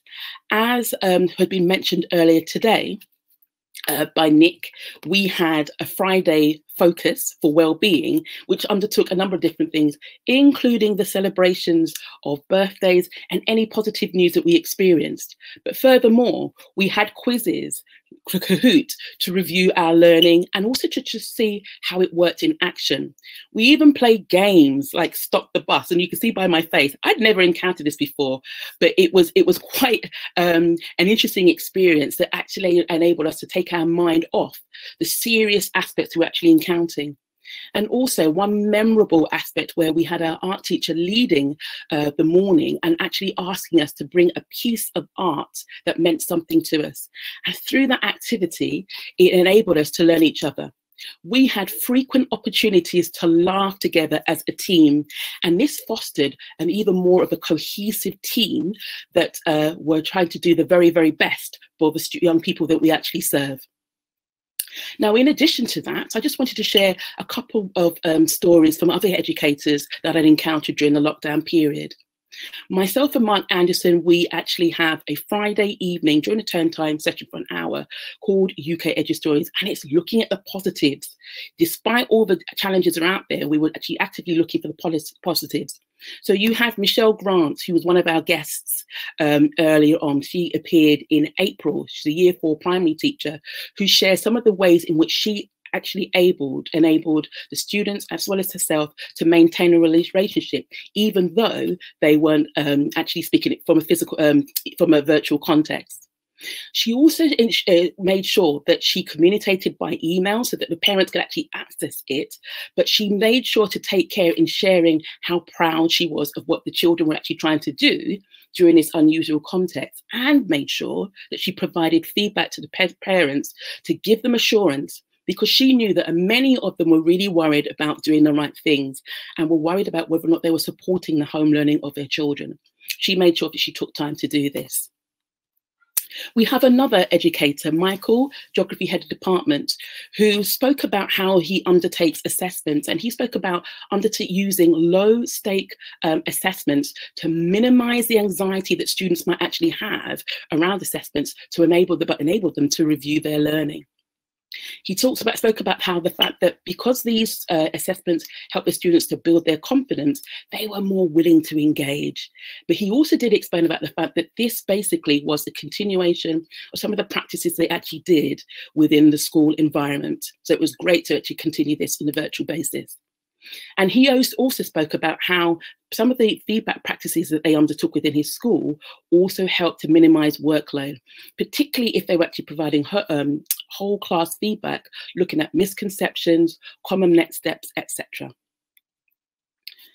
Another positive that I learned through many discussions um, with educators within the UK and around the world is the fact that EdTech the distance learning provides a lever to really highlight your core values.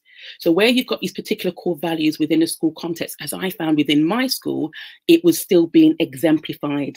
And that was something that was very surprising, but heartening to actually see.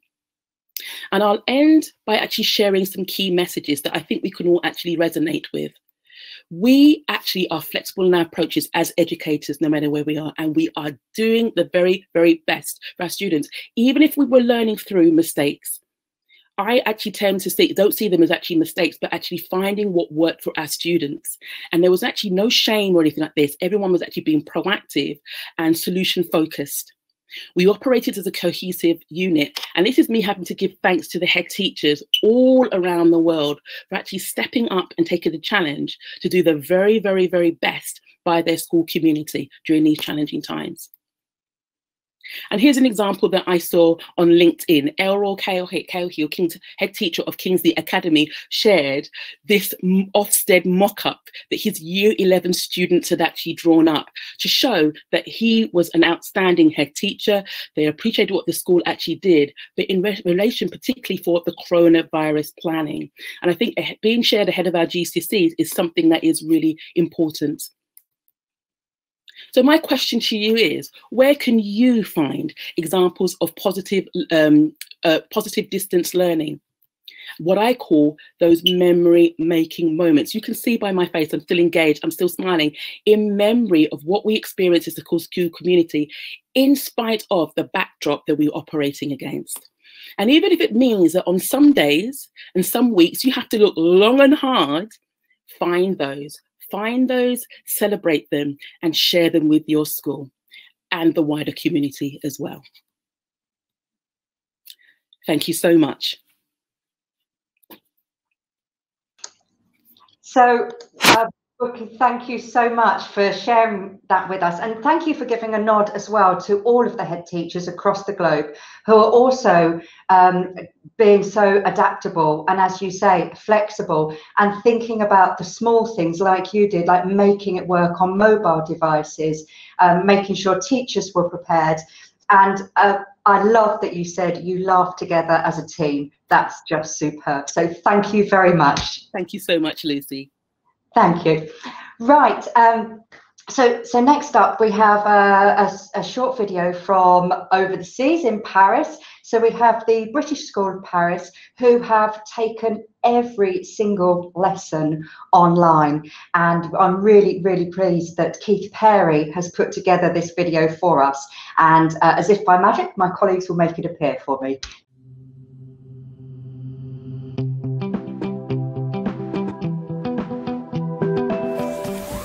Hi everybody, thank you for taking the time to listen to this uh, short presentation. Um, it's much appreciated. I want to talk to you a little bit about how the British School Paris approached remote learning um, and accept that this was for us a new way of teaching and learning, um, something that we needed to ensure that we embraced and be aware that it's something we're going to have to do in the future as well. So what's going to follow now is how we responded as a school. And I'm, I'm pleased to be able to tell you that we were able to deliver lessons on day one of confinement, a full programme from nursery through to year 13. Every single lesson, lesson by lesson, we didn't break the day up in any other way. We stuck to a timetable. At the senior school, that's an 11 period day, and we delivered 11 sessions per day. At the junior school, they operate on a, different format, but they delivered their lessons every day. Um, I hope you enjoy what you see next. I hope it gives you a, a clear insight into what we did. And I'm looking forward to seeing what you did at schools to see how that might impact the work we're going to be doing. We're already planning for the future, and you'll see within my presentation how we plan, hope to move on the system we currently have into a new system and a new way of delivering resources to our pupils. Thank you, thank you for listening, and um, I hope the day goes well.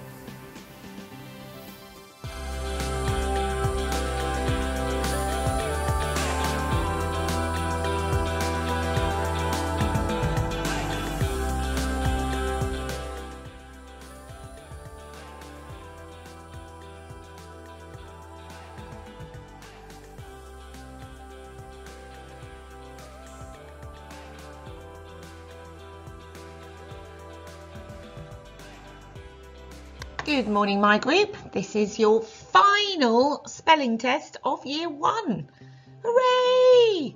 So, hope everybody gets 10 out of 10 on this one. Okay, so I hope you've written down numbers 1 to 10 and the date. Here we go. Number 1 hungry.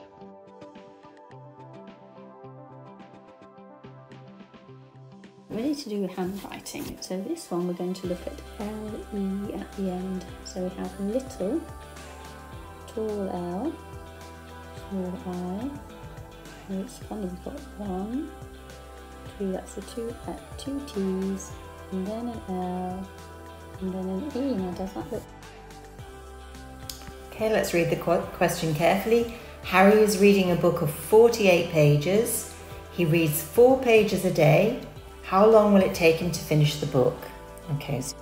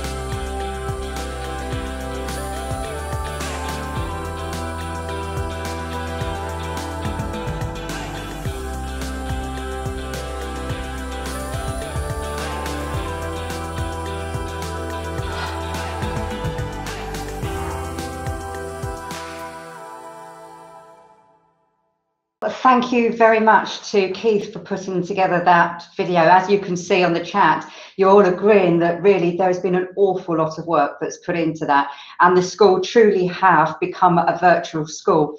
And in the words of Keith, this has become a new way of teaching and learning. So next we have um, a good friend of ours, uh, Nicki Taylor from um, Spain this time. Now, every year Nicki travels to our conference. She's never spoken, she's never been ready to do that. But actually this year, uh, Nicki put together a short presentation uh, for you all, and um, I'd like to share that with you now. So over to Nicki Taylor from Oak House in Barcelona. Hi, I'm Nicki Taylor. I'm the head of primary at Oak House School in Barcelona. The majority of our students are native Spanish speakers and we teach the English National Curriculum with the addition of formal lessons in Spanish and Catalan from year two upwards. We've been using Frog in Primary as our learning platform for four years, so all our students, their families and our teachers were already familiar with it before the school closure this March. That familiarity meant the transition to using Frog as our central hub for home learning much, was much easier. Since we had so little time to prepare for home learning, we wanted to avoid overwhelming the students and the teachers with new technologies, which would have made the situation even more challenging. The teachers had daily online classes with students, which, in combination with the resources posted on Frog, meant students were able to continue with their learning from home throughout the lockdown.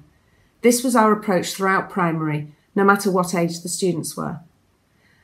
We decided that each year group would develop a home learning site. Initially, the sites were quite simple, but once the situation of home learning was going to go on for a lot longer, we were able to build on them.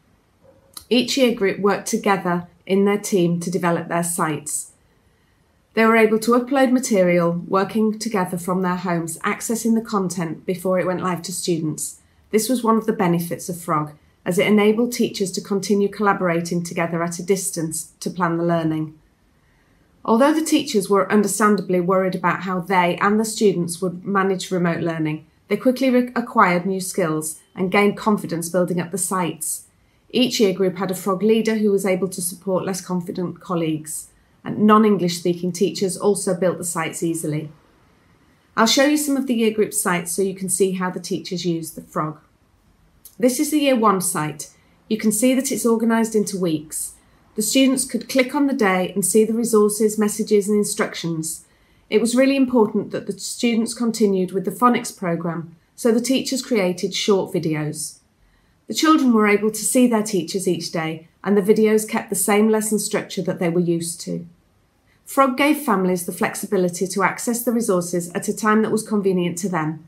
Not all children had access to a device at all times of the day, and parents were having to juggle the demands of supporting their children and working from home.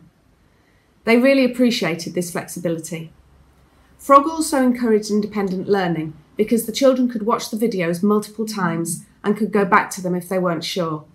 This was particularly helpful for the less able children. It was very easy to adapt the sites to engage the children according to their age. Each year group customised their site to make it attractive and easy to use for their year group. The teachers had daily Google Meet sessions with their classes and were able to teach the children using activities and resources posted by sharing their frog screen. A combination of these approaches meant that all children could engage with their learning, even if they couldn't attend the Google Meets. This is the Year 6 home learning site. The older children had more online Google Meet sessions, but the Frog platform was still the main tool and reflected what was being taught in the online lesson. All the lesson resources, such as PowerPoints, videos, audios, texts, were on the sites. You'll see that in Year 6, the teachers set up different subject sites the students were able to upload their work using assignment tools or through their Google Drives and shared folders for the teachers to feed back on. The ease with which the a range of resources could be uploaded onto Frog is great for our ESL learners, who benefit hugely from having visual resources to improve their understanding. Frog also lends itself to the flipped learning model, as teachers could post resources and ask students to look at them before discussing them in the online lesson sessions. We also uploaded videos and audios of teachers reading stories and posted daily family challenges, and children were invited to upload photos, videos, and audios too. We found the site timeline really useful as it meant the children could share with others and comment on each other's posts in a safe environment. Frog was able to help us keep children motivated with competitions, quizzes, and reward systems. We even moved our Housepoint system onto Frog, the technical support team at Frog gave me useful advice on how to adapt the platform to our needs throughout. In addition to learning, it was important to us that the children were able to continue to experience some of the fun things we organise at school. For example, we moved our end of year talent show onto Frog, with children uploading videos of themselves showcasing their talents. Another priority for us was to maintain the pastoral care that we give the students and to extend that to our families we extended the parent portal that we had already created uh, into a family wellbeing page. Being able to build up the sites from scratch allowed us to share information and advice for parents in both languages. Families were also invited to share photos of things they enjoyed during lockdown using the site timeline. To help students stay active, our PE teachers did streamed lessons linked through Frog, and children shared photographs of themselves completing the challenges.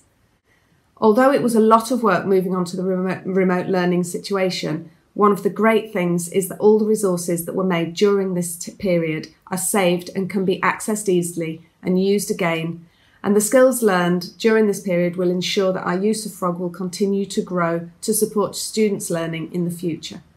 Nicki, that is fantastic. Um, it would. I'm really pleased that you shared that with us. There's so much there, but not just about teaching and learning. As Nicki talked about, it was around uh, connecting families and family challenges, but also recognizing that children are isolated and children do well when they're connected to each other. So she's enabled that through her platform, which is absolutely fantastic. So thank you again, Nicki, for sharing your story. Um, next up is John Parsons from the Winston Churchill School. Now, John has been with Frog for many years, but actually, the period at the beginning of lockdown in March he spent a lot of time with his senior leadership team and heads of departments, making sure that the curriculum was mapped to the resources that they actually had. And actually, I'm going to probably steal a bit of his thunder, so I'll, I will let John talk. But one of the things he does say is the skill of learning without a teacher requires practice. So, with that in mind, I'm going to hand over to John. Thank you very much, Lucy.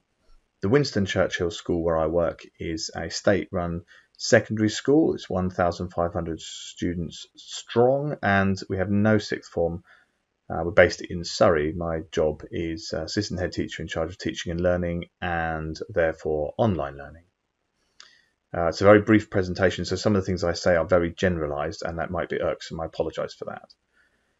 Now, at Winston, the thing that's most relevant to this discussion that we do is we try and enable students to become as autonomous as possible. And we're going to talk a bit about how we are trying to learn how technology can support that autonomy. So, the last few months have been very revealing. Before we got locked down, we had a meeting and we talked about uh, this being uh, actually an incredible opportunity for us to learn a lot ourselves about online learning. Now, at the time, we sort of identified what we were going to look at, but in retrospect, this is how I would phrase the three questions that we set ourselves. One, uh, what happens when you remove the teacher from the learning environment? The second thing is how should we structure our online learning resources to capture students in their moment of engagement? And three, what skills do we now know we need to focus on in school to effectively increase student autonomy? So this presentation is what we learned and how it has changed our approach to online learning as a support for normal human interactive learning. I've organised it into two strands. One is what kind of resources do we need to provide and the other is what things do teachers provide in the classroom that students rely on and how do we provide those in an online environment. So the first strand, and remember I'm talking about this from a leadership point of view, is we can't just fill our online provision with classroom resources. They're designed for a very different purpose and a very different environment. Although we already had quite a, a substantial online curriculum available to students, when we got locked down, uh, it's completely understandable that what teachers did was use classroom resources to provide opportunities for students to learn at home. So now I'm going to explain what we learned from this. First of all, I hope we all agree that to be successful, the student has to be a motivated learner. We spend a lot of our time creating engaging and motivating ways for students to do the work we ask them to do. So when we are doing our classroom planning, either in the back or the front of our mind, we are thinking about the students who don't want to do the work and how we can engage them. For the purposes of this presentation, I'm going to do a classic teacher analogy to drive home my point. So, I have decided as a teacher that you will buy and build a bookcase. I take you to IKEA at a time of my choosing and make you buy a flat pack bookcase, which I have to choose because you refuse to choose one. I then take you home, hand you the instructions, and stare at you whilst you try everything in your power to avoid assembling it. So, how do I get you to do it? Option A cut the instructions up into a fun jigsaw, or option B threaten you with the bookshelf police. That is the situation we have in the back of our mind when we plan for the classroom. In contrast, the motivated learner wants or needs a bookcase. So they go to IKEA willingly, choose a flat back bookcase and buy it. They come home, open it, and there are the instructions. Now they can use the instructions or they can ignore the instructions. They have a choice. Cutting the instructions up into a jigsaw or threatening them is not going to be helpful. So in looking at and analysing why students weren't engaged in some of the things that were online, we talked to them and they said, well, we just want to get on with it. And so I think in summary, I think we can broadly consider that the act of a student opening an online task is the point at which they are or have the potential to be a motivated learner. And therefore, we are not trying to create motivation in the task that we set. We have to assume that they are in that moment and we must capitalize on it. So we want to design tasks that enable students to just get on with it without removing the ability for them to make choices or uh, have challenge, but those need to be appropriate. So the second strand of this presentation is about what teachers provide that students rely on in the classroom, whether those things are desirable, and if they are, how do we provide them online? The first one is security. Teachers provide the nudges, the reassurance, the safety net that keeps students confident and gives them security they're doing the right thing. Therefore, if you ask them to do large chunks of unsupervised work, they start to feel like maybe they've done an hour of work and it's all wrong. So, what we're saying is that we shouldn't ask students to do too much without some kind of feedback. Now, in Frog, you can provide self marking quizzes that will give them instant feedback. You can give them the answers to the questions you're asking, or you can give them a short task which you provide assessment for at the end. The second thing that we think teachers provide is purpose. They provide praise, they provide rewards, and they provide somebody to work for, somebody to impress. So we think that written or verbal feedback is the solution to that. It's essential that when a student does a piece of work, they feel that somebody has cared about it. This is also something that parents can be involved in. Uh, Frog enables parents to see all the written and verbal feedback that we provide students with, and they can show that they're impressed with their child's performance. We're also considering getting rid of formal grading on assignments that are done online and just kind of recording whether they fully, partially, or didn't uh, address the success criteria. Because ultimately, home learning is about engaging and doing your best. The third thing that teachers provide is direction. They provide structure, order, progression. They remove students' ability to make choices because they don't have to make choices in the lesson often.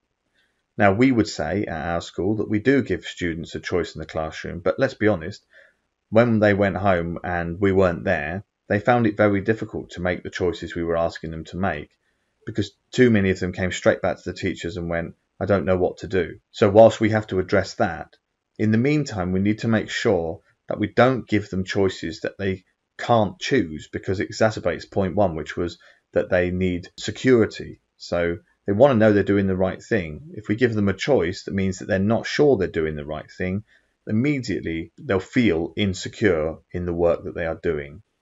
So here's a summary of where we are after lockdown, which will be followed by an example of the resources that we now use. I use the phrase curated autonomy, partly because I find it amusing to make up a phrase that sounds really complicated, and also because I think it does describe, uh, despite being an oxymoron, what we're actually doing, which is we're saying, well, you've chosen to engage in the work, so now we need to provide something that you can do in the state of mind that you are in when you approach it. So, firstly, we don't want to overwhelm them. We want to keep tasks short and we want to give some kind of sequence in what we ask them to do so that they don't feel they have to make too many choices just to get started. And we want to make the choices that we give them choosable. I, we don't want to take away choice, but we want to make it so that they don't feel insecure if they make a choice and go, well, should I have done the other thing? Would that have been better? And also to provide feedback either through quizzes or through giving them the answers or through regularly marking short pieces of work they do using verbal feedback. And I can't really emphasize enough how important verbal feedback has been. Students really enjoy hearing our voice when we're not there. And I think although in lockdown that might be especially true, in general, I think that will also be something that they benefit from over time. So I'm now going to give you a very simple example of where we are with the development of our online resources. This is a science website now, this is available to all students and parents at all time. They can find it using our science portal. We can also point them to it using progression charts within Frog. It says this would be a good idea if you worked on this, but it's also assignable. So everything within the site here can be assigned to students. Um, let me give you an example. So in charges and fields, if I go to grades 1 to 5, what I've got in here is a mini site that reflects what I've been talking about. So it's a manageable, sort of chunked into little pieces exercise that starts off with a bit of reading, and they can either click watch me or click here down the bottom that takes them to a video which they watch. This is the order that we want them to do it in. It gives them an activity which um, they can use to uh, find out more information. Then they've got a self-assessment where the questions and the answers are available. And finally, there's a frog quiz which they can do. Now they can do that anyway whenever they want to, but if we assign this piece of work, then the frog quiz will be marked by the computer and the outcome will be sent to the mark book, which means that as a teacher, I would be able to see how they're done and make comments on the individual questions they've done and help them out. To summarize this whole presentation, I would say that although it might sound very obvious, learning without a teacher is a completely different skill. And therefore, when we provide resources for that environment, we have to be very careful. We have to think what it's like to be the student and plan accordingly. We wouldn't expect students to develop the skills of our subjects without practice. Therefore, the skill of learning without a teacher also requires practice, and we have to evaluate how best to give them the support they need to get better at it. And I hope what you've seen in this brief presentation is our attempts to get closer to being able to provide something that suits what students need in that moment where they decide to engage with something that we've asked them to do. Thanks very much for listening. I hope you've enjoyed it.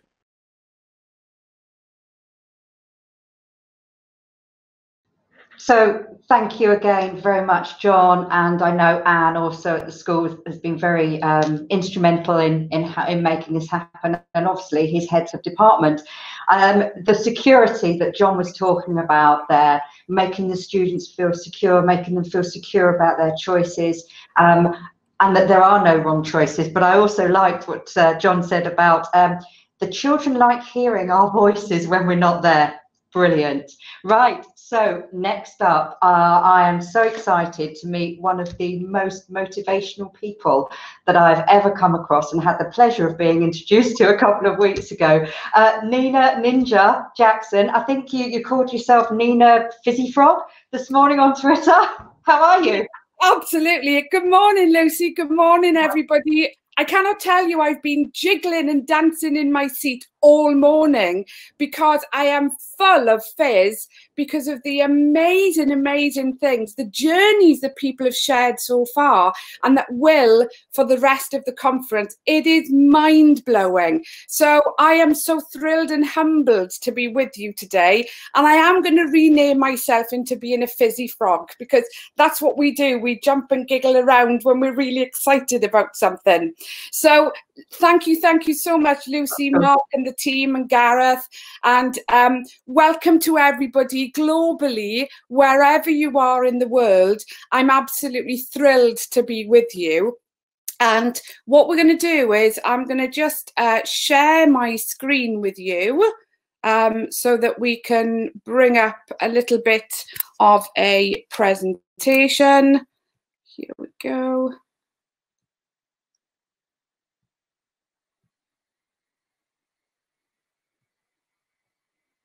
And we should now have this um, presentation where you can see that what we're going to do today is that we're going to find and share our fizz. And the really, really important thing here is that now that I've lost my screen again, here we go. The really, really important thing here is, is that I've seen fizz so far this morning globally, not just in the chat and the presentations and everything, but why am I talking about finding and sharing fizz? So I'm Nina Jackson. I'm a mental health and wellbeing global advisor, um, a teacher and pedagogical champion.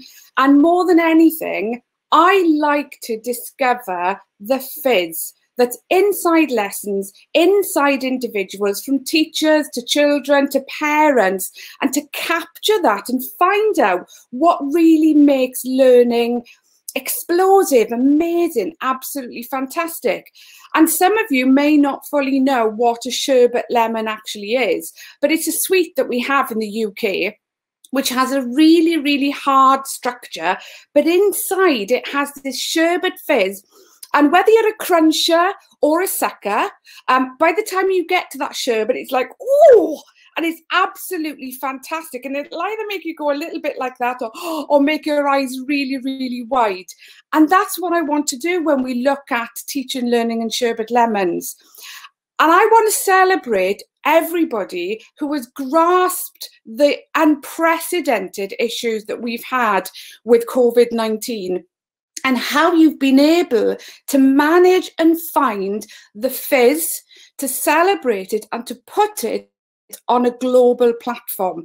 Whether you use frog or not the most crucial thing is is that we find out how we can engage our students develop our teachers to be even better than what they already are and to be okay sometimes when things don't go quite right. So I am the author of Of Teaching, Learning and Sherbet Lemons, which is a compendium of really careful advice about a number of things. And there's some ed tech tools in there as well, um, which I was supported with, with the lovely Mark Anderson, ICT evangelist. So let's have a think about it. Now, as you can tell, I'm a woman who's worked at this beautiful figurine for years and I love chocolate. So if life is like a box of chocolates and work out which film that actually came from, then teaching and learning is like a sherbet lemon. Why is that? We need to have the structures. So even during lockdown, so many of you have still had these school type structures through home learning, online learning, e-learning. And those structures have allowed you to find out actually how different students will engage and share their new fizz way of learning. So we've always got to keep those structures and systems, but now we're looking at new structures and systems. And that's absolutely crucial as we move forward into the future. We are crafting right now great humans for the future that can be adaptable and flexible. But the problem being sometimes is that they are going to lose their fizz. So if I ask you this question, why isn't there fizz sometimes? You know, what are the major challenges for you? So many of you will have embraced these challenges and actually gone head in and been really brave in thinking, okay, if we do this system and we use Google Classroom or we use uh, Frog or we use applications or emails or connecting with students in a really innovative way to check in to see if they're okay, then you are embracing that new challenge, but you're also trying to find the new fizz. So, whatever it is that you're working in globally with regards to teaching, learning, pedagogy, and practice, just make sure you will always have challenges, but sometimes be okay that there isn't full fizz there. I think we'll all agree right now that what we're trying to do is to create happy, healthy children and young people. That's what we do as, as educators. But I want to come back and really celebrate, and particularly from some of the, uh, the people who have presented this morning, what you've done, and thank you for this, is that you've made your staff and your teachers a priority as well. You've thanked them, you've embraced them. But what we need to do as well is that we need to find out what makes us happy and healthy by us fitting our own mask first. And I'm not going to actually do the airline thing, but you get what I mean. Sometimes when there are difficulties, and we've lost that fizz, particularly with mental health and well-being, what we need to do is to just reach out and we need to do what I call the check-in, check-out system. Now, what do we actually mean by that? Earlier on, you know, Nick was talking about celebrating birthdays. Bukky was talking about checking in with, with young people, you know, either via WhatsApp or online systems. And many of you will have your own methodologies when you check in with somebody and you say, You okay? How are things going? then what you do is that if there's a response where thing is absolutely fine, you just say, okay, well, I'll check up with you later. And this is not just from an emotional point of view, but this is from an academic learning point of view as well. When things seem to be settled and that you're happy, what you can do is actually you can check out. So think about when you're looking at finding emotional fizz for somebody that you do the check in, check up, and then check out system. And that's about that showing that extra little bit of well-being care.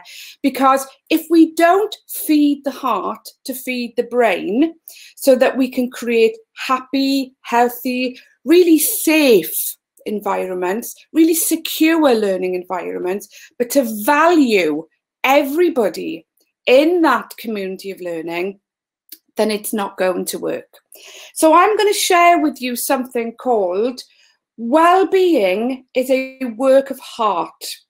Now, why am I sharing this with you? Well, well-being is a work of heart is my idea to share your A to Z things of what make you fizzy. And I'll just move that slightly on the screen. But well-being is a work of heart is definitely something that we have to embed in teaching and learning and interweave it into academic progress.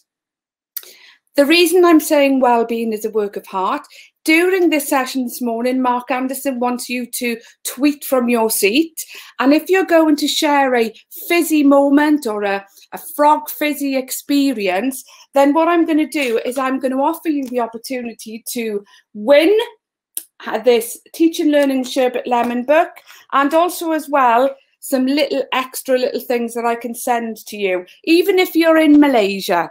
So when we're creating these happy, healthy environments, not only looking at e-safety, but also looking at the emotional well-being, are you checking, A, that the learning environment that that child student is in is safe for them? And whether or not they actually feel secure in accessing that learning. Accessibility is key. And because obviously special education needs and disabilities is one of my areas that I'm very passionate about and I work in as well, the accessible tools are crucial, whether it is from speech to text, there are applications, there are online tools. Oh, well, I do love a little bit of double FN on Word on my Mac especially when I'm writing, so I don't end up having really, really cramped shoulders and I can speak and write and just be myself. So think about that, feeding the heart to feed the brain.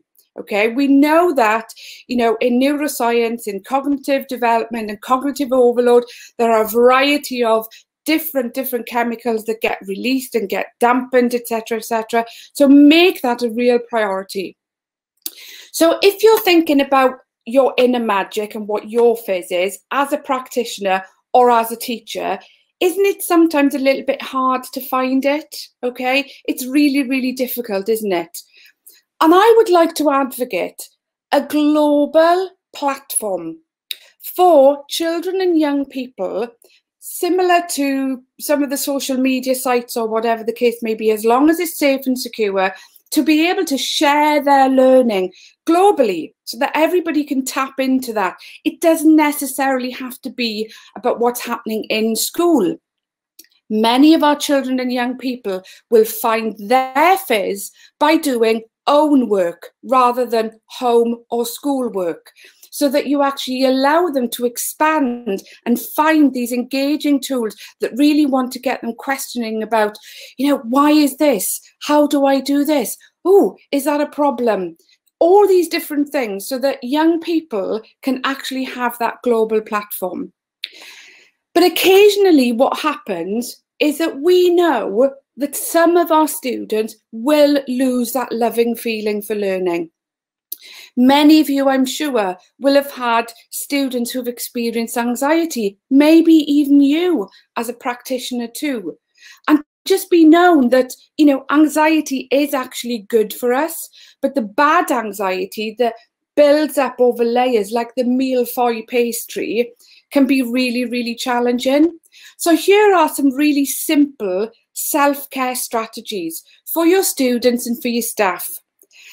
For me, every morning after I've read a, a brilliant, brilliant book called The Miracle Morning, I wake up and I ask myself, Nina, what's your purpose today?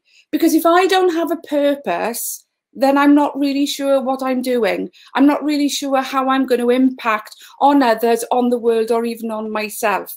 So, starting each day with what's my purpose, reminding ourselves that there'll be real, real highs and there'll be terrible, sad lows as well. But riding those waves is actually what brings brilliant, brilliant well being to a balanced place. And at the end of every learning experience, end of every lesson, end of every experience where you're networking or collaborating with parents, staff, and students, the gratitude, the three things, okay, that you recognize about yourself that can celebrate you. I mean, three really, really simple things. Celebrate your talents, you as practitioners, as teachers too. But more than anything, enjoy the time right now. Celebrate them, find what your fizzy moments are, and interject that with some really, really good sleep patterns. What I saw this morning is that routines, routines and systems are crucial when we're in uncertain times and we don't know how the world is going to develop. Be okay with sharing worries. Be okay with the fact that you want to celebrate you. But more than anything, I want to ask you today what's your fizz? What makes learning effervescent in your school? What makes learning effervescent for you as a practitioner? And how do you know that your children are just not feeling the fizz, but are absolutely finding it too? I wanted you to think about you being kind to yourself. Teachers, practitioners, educators, you have globally committed yourself in developing an amazing future which is flexible, adaptable, and embracing change. You've been brave and you will continue to be brave. Sometimes maybe somebody will forget to just check up on you so please, please, will you just be kind to yourself too? And when you're kind to yourself, whether it's all devices off or whether it's actually celebrating your fizz and being really brilliant, then that's okay. I'm Nina Jackson and I'm at Music Mind on Twitter. And I'd like to say to you, global teachers and educators, and all fizzy froggies wherever you are, thank you for all that you are and for all that you do. I hope you have an amazing day and I would love, love to connect with you in the future. Thank you very much.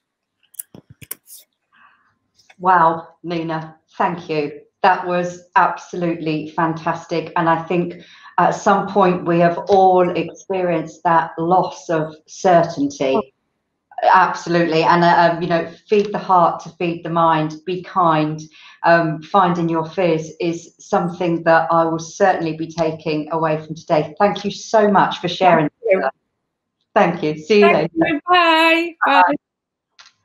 So um the the last uh, the last section this morning before we take a, another very quick break um, is a, a, lady called Andrea Layzell. Now, um, 50 Things is something that has been very close to our hearts here in Yorkshire, and we've worked very closely with Andrea and her team. And I would like to bring Andrea on to talk a little bit about what 50 Things to Do really is. So, hi, Andrea, Thank you for joining us today. Oh, thank you for inviting me. Um, I'm, I'm really impressed to be here, but I'm also a little bit daunted with all the wonderful presentations that I've been following. Um, 50 Things is um, a bucket list of experiences presented in a smartphone app um, and localized in local authority areas. It's been developed by Frog and we're continuing to develop all the time. We're currently launched in seven areas, and we're delighted that a growing number of children and families um, are benefiting from this at your fingertips resource. Um, I'm sharing a screen, I think. Can you confirm that, Lucy? Yeah. Uh, let's have a look. Uh, not at the moment, Andrea. I think I might be any minute. Oh, far too many. Let's Oh, try it's- it's- that one. How's that? Am I sharing that? Yeah, perfect. Oh, wonderful. I love the technology of all of this. Okay, so 50 Things was developed by St Edmunds Nursery School and Children's Centre, which is in Girlington in Bradford. Uh, we're a four times outstanding maintained nursery school, and it was developed in response to primary heads talking about children entering reception with limited experiences that they'd gained. Now, at St Edmunds, we've got a long history of working in collaboration with children and families, um, and we believe that all parents want better for their child. But we also recognise that many parents are uncertain about what experiential learning is needed if children are to be ready for the learning that's available to them in their journey through primary education. So um, we wanted to, to provide fingertip information, um, recognizing that parents are very often um, using their mobile phone a great deal. But I'm not able to share the smartphone app with you. We have websites as well, um, and you can see screenshots of the website of the smartphone app here. Um, you can download the 50 Things Bradford app via this QR code. Um, we've been very lucky in terms of being featured by Look North um, and had a great deal of support from local authorities, from different agencies. And we genuinely feel that we've more chance of reaching um, more families when it's a universal offer, which was part of the criteria for, for what we included within the app. It had to be things that were universally accessible to every child in our district and the districts in which we work. Part of that universality was about the activities being low cost or no cost. But most of all, they had to be fun. And one of the, the resources that's available in the app is about creating memories. So, recalling, recapping those experiences, uploading photos that are only available to, to the app user.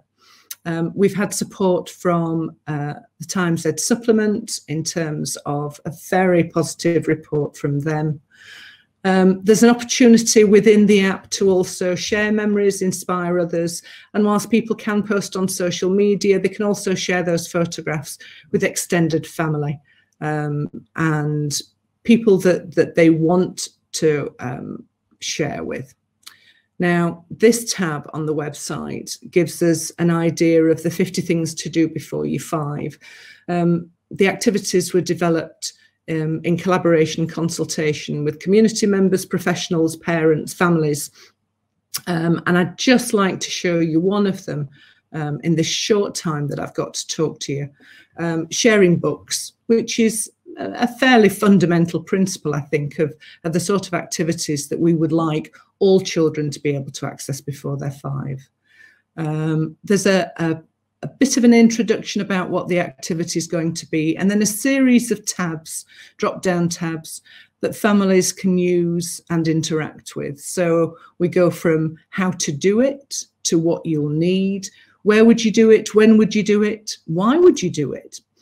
Because our initial funding um, was around oracy and language development, we've introduced up to half a dozen keywords in each of the activities to try and inspire parents with the idea that they should be introducing language and this is how their babies and toddlers will learn. We have a top tip section. In good early years um, principle, we have books and stories linked to each of the activities. We've got links to resources, which is very often YouTube videos or other websites that give um, really accessible information to parents and families. We have local links, so you can see here um, on the Bradford app and website, there are times for story and rhyme times at Bradford Libraries and how to join the library um, and a Google map of how to find. We're very fortunate in that we've got um, a couple of imagination libraries in Bradford. Another activity to try where we lead people around the app There's um, a tab on research and articles so that people who want a bit more depth can get that. But we've also got uh, research and articles and special educational needs. Um, as I said earlier, it's a wholly inclusive um, app that is available for all children. And one of our colleagues, um, uh, deputy head of a special school, has looked through each of the activities and looked at um, how many children might respond to that. Um, I just want to stop sharing that screen now, if I may. So um, we're really grateful to be here today. We'd like you to, to remember really the well-being of parents and families and all the children coming into your schools, into uh, nursery reception, um, and recognise that for many families this has been a really challenging time. Um, we've got a quote from um, a parent, Fran, who was a parent of a three-year-old, who talked about lockdown being really difficult. She's a single parent family who was her three-year-old sole companion for a long time. And she talked about, with the best will in the world, she's not as much fun as her three-year-old's friends. Um, and she said, I can look at the grid and get um, a part of an idea, or I can just think about the next 30 minutes, read through and follow it. And then I know she's had a really good experience and interaction. It helps me feel like I'm doing all the things I can do to make Mari and me feel better. So I think um, I would just commend you to have a look at the website. Contact us if you're interested in rolling this out um, with your multi academies trust or local authority, and look forward perhaps to talking to some of you again. Thanks very much. So, Andrea, thank you so much. We'll make sure that all of those details are available to you post conference. There will be a survey going out, and um, obviously, a lot of you will want to connect with some of our speakers here today. So, mm. that brings us to thank you again. Um, that brings us to the end of this this second section. Gosh, can you believe we started which seems like a quite a while ago with Bukky, and then we've had all of these fantastic speakers, and now we're at a break and then we'll so we will be back. It is now 11.38 and we will be back at 11.50 so a very short 10 12 minute break. Um, straight after that we will be introducing simon o'grady um, to the stage to talk a little bit about what he's been doing both in mexico and now back into the uk so thank you very much and we'll see you very soon so, hello and welcome back to everyone. This is our last section of the day. So, we will be talking to Simon O'Grady, we'll be talking to Adrian Tate, we'll be talking to Matt Holley, and then uh, Mark Anderson will also be joining us to talk about uh, a hybrid learning approach. So, first up, we have the absolute pleasure of bringing on stage uh, this morning is Simon O'Grady. So the last time I met with Simon was in his school in Mexico, but now Simon's back in the UK and taken on a slightly different role with High Performance Learning, uh, an organisation that we are very much uh, aligned in our values with. So Simon um, apart from your three degrees, your multiple head teacherships uh, in all sorts of different countries, you're now back here. So thank you very much for joining us this morning, and I will hand straight over to you. Well, Lucy, I'm delighted to be virtually here and uh, to address our conference. Uh, and uh, I've really enjoyed the sessions this morning and uh, clear that from some common challenges significant creative solutions have been born. Um, but of course, we're meeting a significant moment, and as education responds to the straitjacket of lockdown, it's been a difficult experience for children. Confinement has constrained their well-being, uh, with big issues of access and equity across the globe. Access to decent learning spaces and good technology have exaggerated existing inequities, uh, as assessed by UNESCO's framework for reopening schools. Equity has worsened as millions more children are schoolless. Pre-COVID, the UIS reported that uh, 260 million children do not attend school. Countrywide lockdown across the world has made this worse. In stark contrast, however, schools have responded creatively, caringly, and a new world of blended learning has been born. According to the World Economic Forum COVID Action Platform, three things have changed for good. First, we now educate in an interconnected world.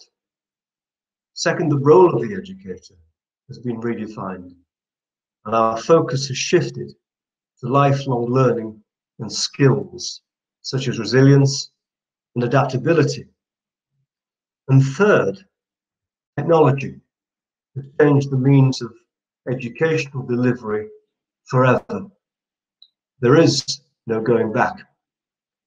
In this short address, I wish to promote progressive ideas rooted in research, projecting a future which focuses on how children learn, how great schools support, and indeed how frog education is shaping this journey.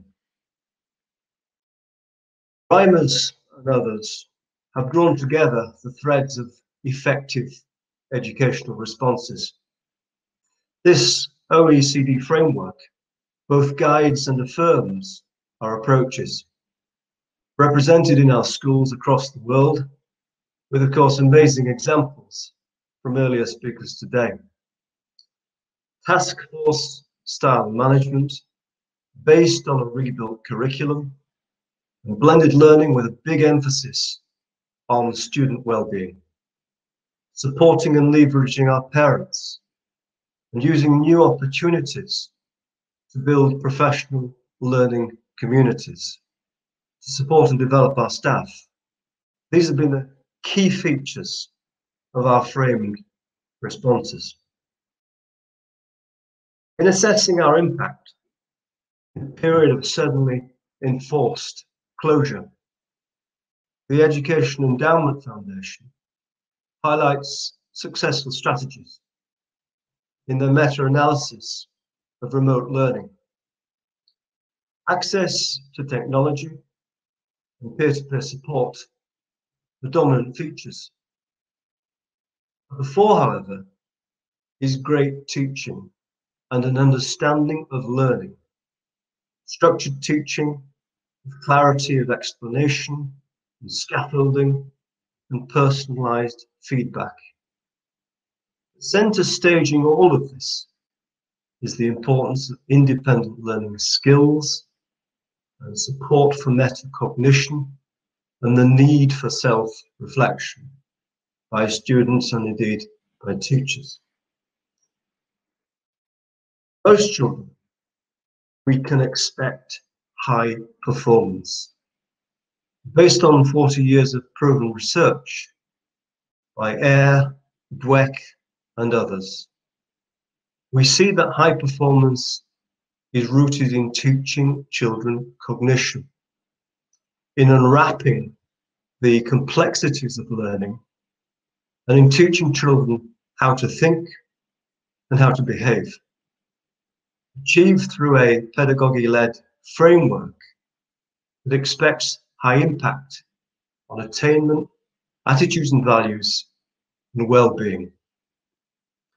The World Economic Forum, COVID has changed our educational mission, moving us towards developing skills of creativity, critical thinking, and entrepreneurship, but balanced by a need for empathy and emotional intelligence.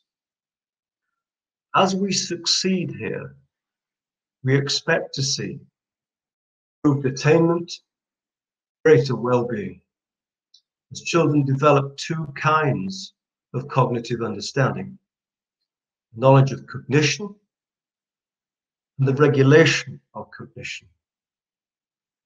Metacognitive knowledge splits into knowledge, self, task, and strategies, whilst regulation of cognition involves planning, monitoring, and evaluating cognition. Teachers, focus on improved practice gets and keeps great people. And it creates a team of outstanding professionals. Leaders, cutting edge professional practice gives advantages at the point of admission and connects to other outstanding schools. In piecing this all together, we are seeing beyond our current crisis. We offer schools a journey to world class, which means an expectation of high performance from all students. We challenge together the old thinking that straitjackets children and limits performance, and offer instead a proven research-based pathway with a trajectory for student success. Frog Education supports this journey with radically innovative solutions, framing the characteristics of academic performance, the values, attributes, and attitudes that support them has been our first engagement with Frog as we make the future happen now. The rich well that we have drawn from today shows how outstanding schools operate in crisis situations. Outstanding schools focus on students and define those attributes they wish to see in children and young people. Structure, systems, and measures of accountability are all built around this. Core curriculum is vision linked within and beyond the classroom. Confident by nature, outstanding schools involve students and parents at the heart of learning. In outstanding schools, students enjoy. They enjoy and they trust their teachers. Internal accountabilities count for more than external regulation where a culture of ongoing improvement prevails. Purposeful, yet relaxed, outstanding schools never stand still. Piecing it all together, necessity has framed creative responses and kept children learning. Piecing it all together, uncertainty casts its shadow on reopening and the logistics around it. Piecing it all together, schools are given their children structure and support in the face of confinement and isolation. Our conference celebrates so much of the good practice that has been fashioned and shared. And as we look ahead, we do so in the knowledge that we will piece it all together. Thank you. Thank you, Simon. Thank you so much for for sharing that insight and certainly around um, how how the outstanding schools are focusing on students. And I think everybody here today has been focusing very much their attention on students and making them feel safe and secure. So thank you very much for, for joining us and I'm hoping you'll stay around till the end of today. Certainly will. Great to be here. Thank you. Thank you. So um, next we have um, Adrian Tate joining us. So Adrian is from the Northeast. Adrian has been part of the Frog family for oh, a very long time. I think we've known each other probably getting on for around 10 years. Hi, Adrian. How are you? Hi, how you doing? Yes, it's been a long time we've known each other. Um, I was just thinking, this is a bit like Eurovision Song Contest. I've got to say how well wonderful it's been going so far. It's been a fantastic performance. Everyone's been amazing. Uh, the results for the Northeast are going to be um, no, no. Uh, we've known each other for quite a, known each other quite a long time, uh, and yeah, it's been a fantastic to get involved. This isn't the first time I've been involved with a conference. Uh, I was involved a while ago, um, but it is the first time that I suppose, um, yeah, I've been I've been kind of like this. This is all kind of new and, and different and kind of a bit unique. Uh, it is. It's uh, it's the first time you've been involved, but you can see how long you've been with Frog, and it's almost like you've raided our merchandise cabinet from behind you. I think I've got more merchandise than you guys have, to be honest. I think you have, Adrian. I'm going to pass over to you now. I'm going to come off the screen. Okay. Um, hi. Uh, so, like Lucy said, uh, my name is uh, Adrian Tate. Uh, I'm from a school in in, in, Newcastle. it's a large comprehensive school. Um, it's a high school, so uh, we teach uh, students from uh, the year nine up to sixth form. Uh, so yeah, quite a large school, and uh, I have to admit, uh, lockdown sounds crazy, has been amazing for me. so what I mean by that is, is that when lockdown was on the kind of horizon, I was everyone's best mate. So the idea, the fact that Frog could do so many things that we couldn't currently do uh, was amazing. All right. So basically, uh, I was asked to do loads of things. And one of the things we kind of hooked up upon quite early was this idea of it's all well and good we can use Frog to uh, supply students with uh, access to materials. Uh, we can set work for them. Uh, we can get them to hand work in. one of the things we couldn't do and we found quite difficult to do was this idea of um, supporting students at home. The idea, the fact that we couldn't just uh, give access to us, and that's one of the things that you can't do in the classroom. It's dead easy. We can obviously uh, help and support students, uh, whatever their needs are. We can talk to them. We can do what we like. Uh, but for some bizarre reason, what we can't do is we can't support them at home, and that's one of the things that we we kind of looked at quite early on. Uh, terrible as it may seem, I'm seeing to have a bit of a problem with my PowerPoint presentation, but don't worry, uh, I do have a backup, so we're all right. Um, so yeah, so I was asked to kind of to help and support some of the students, sorry, so the staff, sorry, at school, in, to creating a well-being website. Uh, so that's what we did. We looked at how we could support our students' well-being from home, uh, and what we this first of all decided upon was what we wanted to put in there. So we wanted to make it easy accessible. So something that was dead forward, straightforward for students to find uh, from the offset. And that's what we kind of did. We looked at this idea of how we could support and uh, engage students at home.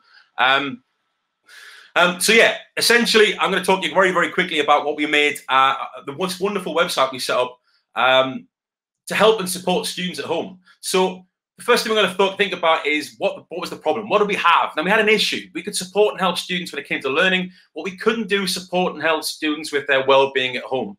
So we decided to put this wonderful little website together. So we started to think about, well, what's the key things we need to kind of tell students? What's the key things that we need to kind of show students? Um, and the first thing we thought was not rocket science. We need to show them, explain to them about what it's all about. So this is our little website. Um, we had a little kind of little welcome message to make sure the fact that students um, were able to get that little bit of a personal touch. So it says there, uh, hello and my name. Uh, now, obviously, students' names came up there when they did log in. Now, that's, if you don't know, by the way, I, I know this is all done in Frog, but it could be done on any platform or any kind of website builder. Uh, that little personal message is put in there with a little widget called personalized welcome widget. So we then thought, right, we need to give students access to numbers because it's all well and good saying, well, you know, yes, you can contact school, you, should have a school number by now. Um, but actually, weirdly enough, what about things like giving them the responsibility to say, well, actually, if you believe you are unsafe, you can call the police. You can talk to people. There's no reason why you can't call the police. You can't call somebody in your local area for social services. It's all well and good, like I say, saying, well, yeah, contact school, but actually, it's not wrong to, to give students access to these numbers. Now, again, using the power of Frog, which you know is fully is amazing.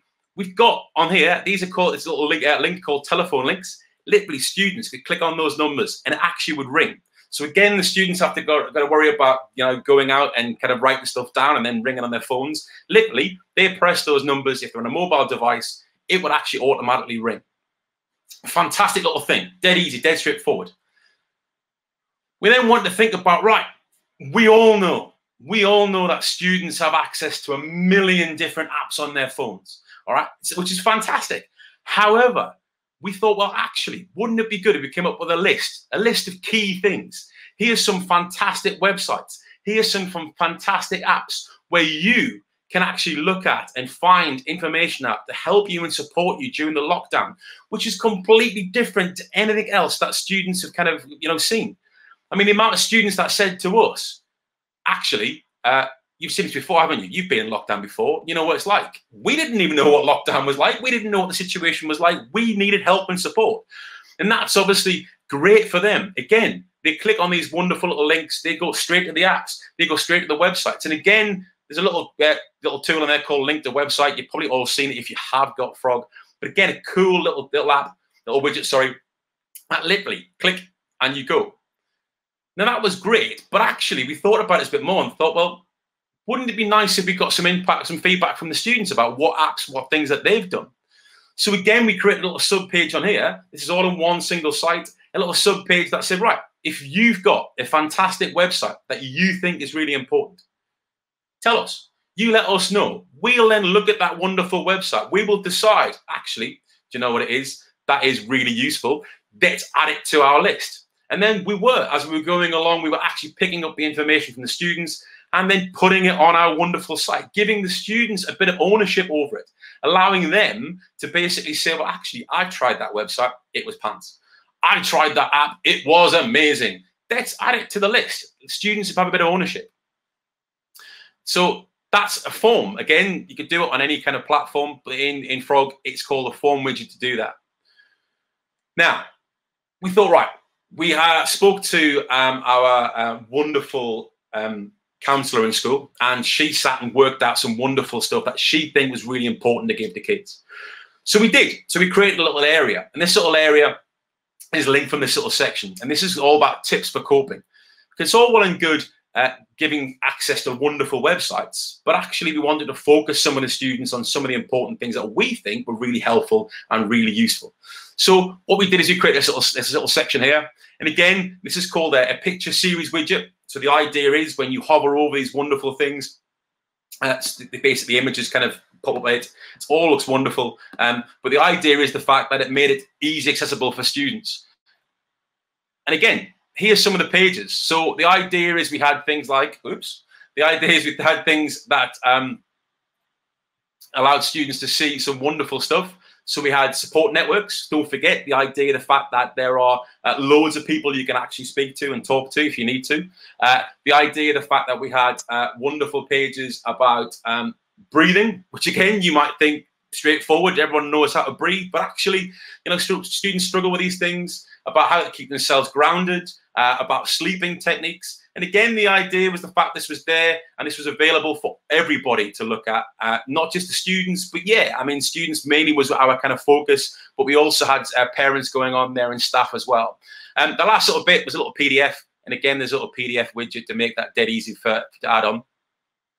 So again, all well and good, we've told them where to go externally, but what about internal? What about the idea of giving them access internally? Now, normally, if you had a student in your classroom who you thought, yeah, they're having a few issues, it looks like they're kind of struggling with what's going off, you know, I'll pick up the phone, I'll, I'll have a chat to one of the guys in school, and then they can go and have a chat to them or so on and so forth. That's fine.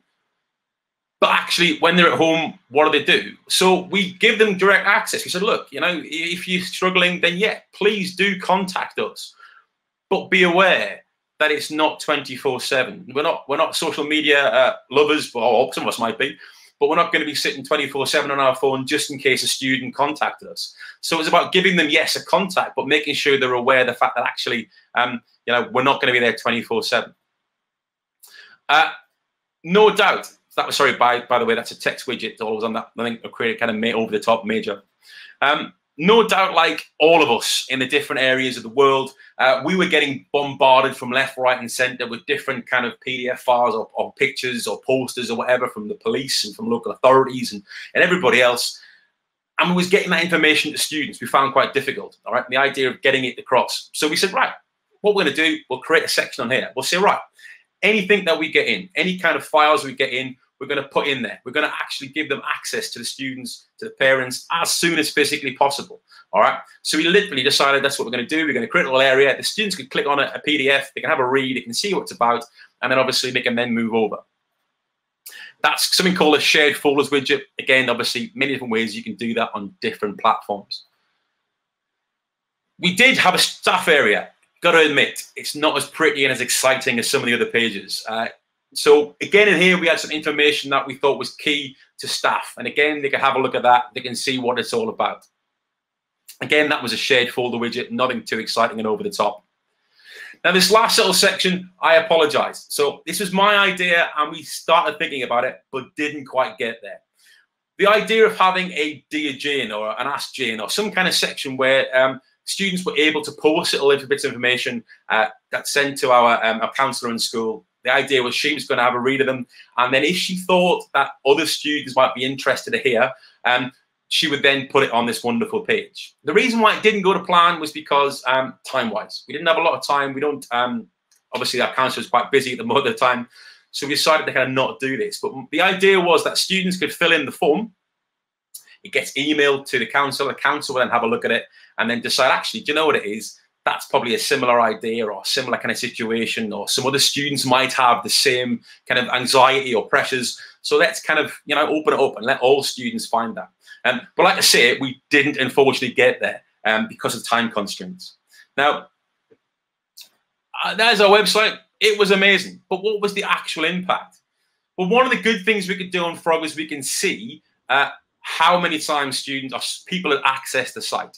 And I think, you know, granted we've got a, a large school, so I say about 1,800 students, uh, we didn't do so badly. All right, we had about 836 visitors uh, over lockdown. So during lockdown, uh, we had this. Granted, we didn't do this for the first month or so, I think it was.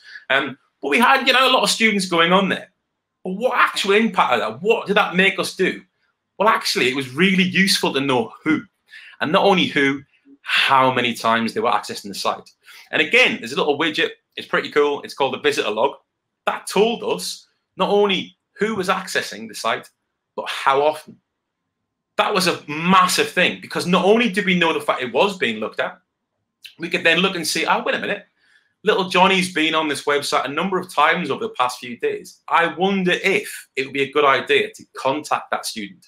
Not saying, by the way, uh, you've been looking at this wonderful website, uh, but basically by contacting them saying, hi, how are things? How are you doing? What's going off? And that's kind of what we did. And one of the tools that again in Frog is amazing, which again you may or may not know, is something called the messengers tool, messages tool. That allowed us to send a message to the students, all right, because we had an issue with some pupils not answering the phones. Then when they logged on, if they've got the app on their phone, it pinged on their phone. And it allowed them to get that little starting point. By the way, I've sent you an email. Or by the way, I'm going to ring you today. Or by the way, um, we want to know how things are going. So I apologize for technical death issues. Um, terrible for me to do that. Um, but hopefully, a brief insight into what the kind of things that we did. I know Lucy's going to kick me off in a second. So uh, insight into one of the cool things that we've done. We've done a million and ten things, um, which no doubt most of us are doing. Um, I've got a bit of a croak in my throat, so I'll have a quick drink anyway. Um, thank you very much. Adrian, thank you so much. Uh, I'm just wondering how much more merch you might be able to snaffle away from us. That was really good. And as Simon said before, um, outstanding schools focus on students and that students, student well-being, the various forms of communication that you've um, you've engaged with there. And interesting, the chat has been going quite crazy about people getting uh, uh, emails and texts through the night more than ever so I think you've highlighted something that has resonated with the audience very much so. So thank you again, and I'll catch up with you soon. Bye, no. Um, so, so the next uh, next person that I'd like to introduce you to today is is Matt Holley. Matt is from River Tees Multi Academy Trust. Hello. Now, Matt, I know from talking to you that um, nothing stopped with you at all. No, not at all. So you've not had much break really. No, we uh, we we continue throughout just because we are um, an alternative provision. So um, all of our children were classed as vulnerable. So we we had quite a few of them in throughout the whole of, of the time that it was uh, going on. Well, thank you again for taking the time out of your holiday today for no, sharing the story. Fine. I'm going to disappear and hand over to you now. Thank you. Okay.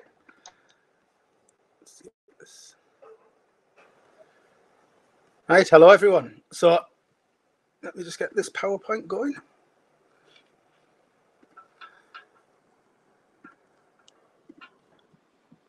So yeah, so as um, Lucy just said, I'm Matt Holley. Um, I'm an e-learning lead at River Tees Academy, Multi Academy Trust. Um, so basically, we are a, an academy of five schools, and we are an alternate provision. Um, we deal with learners that are um, either excluded from school or at risk of permanent exclusion, and we also deal with learners that have got medical needs. Um, what we did with Frog before lockdown is that we we tried to create quite a lot of different areas within Frog so that our learners could use different aspects of it. So that could uh, go from careers uh, to our Thrive approach that we use, um, our Send, our all of our different subjects. So we used to put we'd house them all in the in the same area. What we'd also build is a student area for the students, so that would give them the useful links. Um, it would also give them links to, similar to what uh, Adrian was talking about um, with the COVID 19 and uh, the well-being. So we created a well-being page where that had the links as well. Um, we did exam revision and the home learning.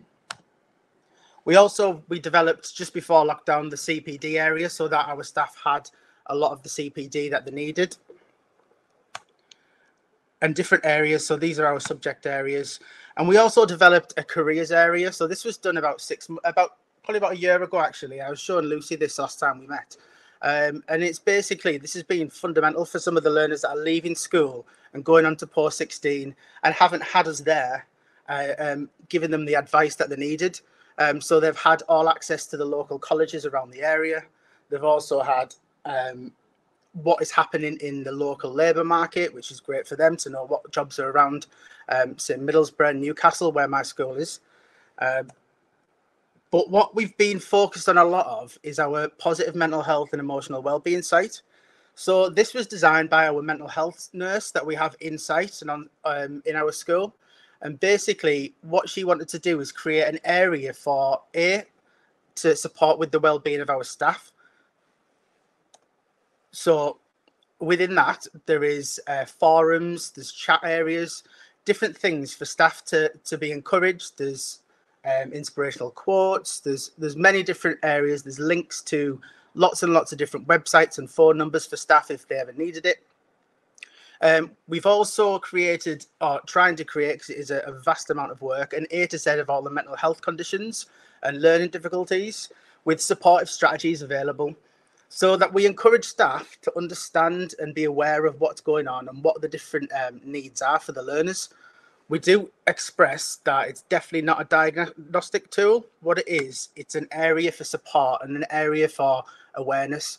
So they would be able to find different areas where they would see overviews of what maybe the condition was, what symptoms they might see, certain positive interventions that could be put in place, um, but also within them interventions, there would be case studies that people have made within the school of how them interventions have worked, what type, what the learner was like, and different aspects of, of how it worked. So then we got to COVID, and Frog was fundamental in how we uh, designed our curriculum when it came to COVID. Yes, we didn't close, but we did have quite a few learners that were working from home. Because of that, we needed to really figure out how we could then get them to access Frog completely from home without the support. Yes, we were doing phone calls for well-being, but they needed that help within Frog so that they could support their learning. But our rapid response, first of all, was to make sure that our staff definitely knew what was going on. There was so much uncertainty, and every day things changed within the, the news. Um, policies were changed constantly, so what we did is we created, instead of having a handbook, we created a COVID-19 site where staff would be able to see rotas, they would be able to see what they need to know, um, school procedures, GDPR, um, what we were offering to the learners, and then just useful links so that they could keep up to date as well as we were, because we didn't know anything more than they were hearing on the news. We also created a little bit like what Adrian said, not as complex, but we created a, a COVID-19 and wellbeing site for the learners, which give them uh, interactive links so that they could um, visit sites that would help them with the well-being. Um, they would have just little different tools on there. Uh, there'd be a letter for the parents and lots of different things that we would update regularly so that the the students and the parents understood what was going on the same as what we did. What we then had to do is really think about, because we were working on a rota system, what type of CPD could we take advantage of during this time? And not just use it as a time of fear, but use it as a time for advantage. And so what we did is we really enhanced and developed our CPD development, looking at what different aspects that we could actually look at for for staff to um, to really engage with. We did have quite a few reluctant or technophobes, as you would say, in in work. So we needed to to give them a safe place and a place that they could do online CPD uh, to help develop in their career.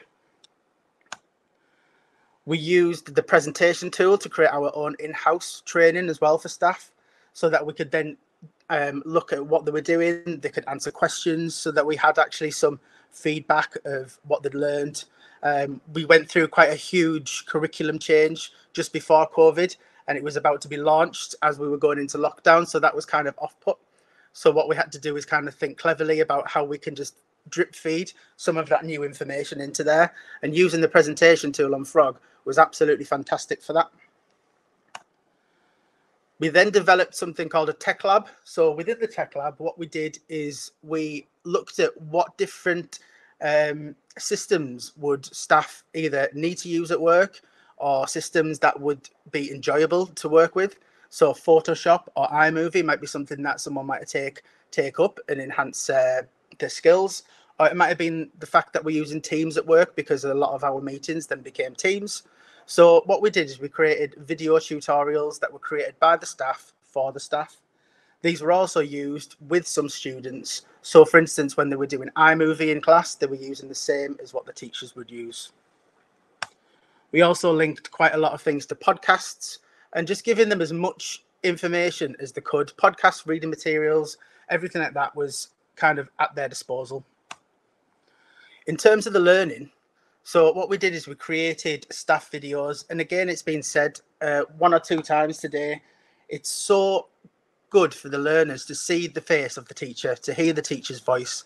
It makes all of the difference. You sometimes using the, the YouTube videos, you can kind of lose them, but when they see their teacher there, see their teacher doing the work, it really encouraged them. And the feedback we got from the students, some funny, but it was it was really really um, really good.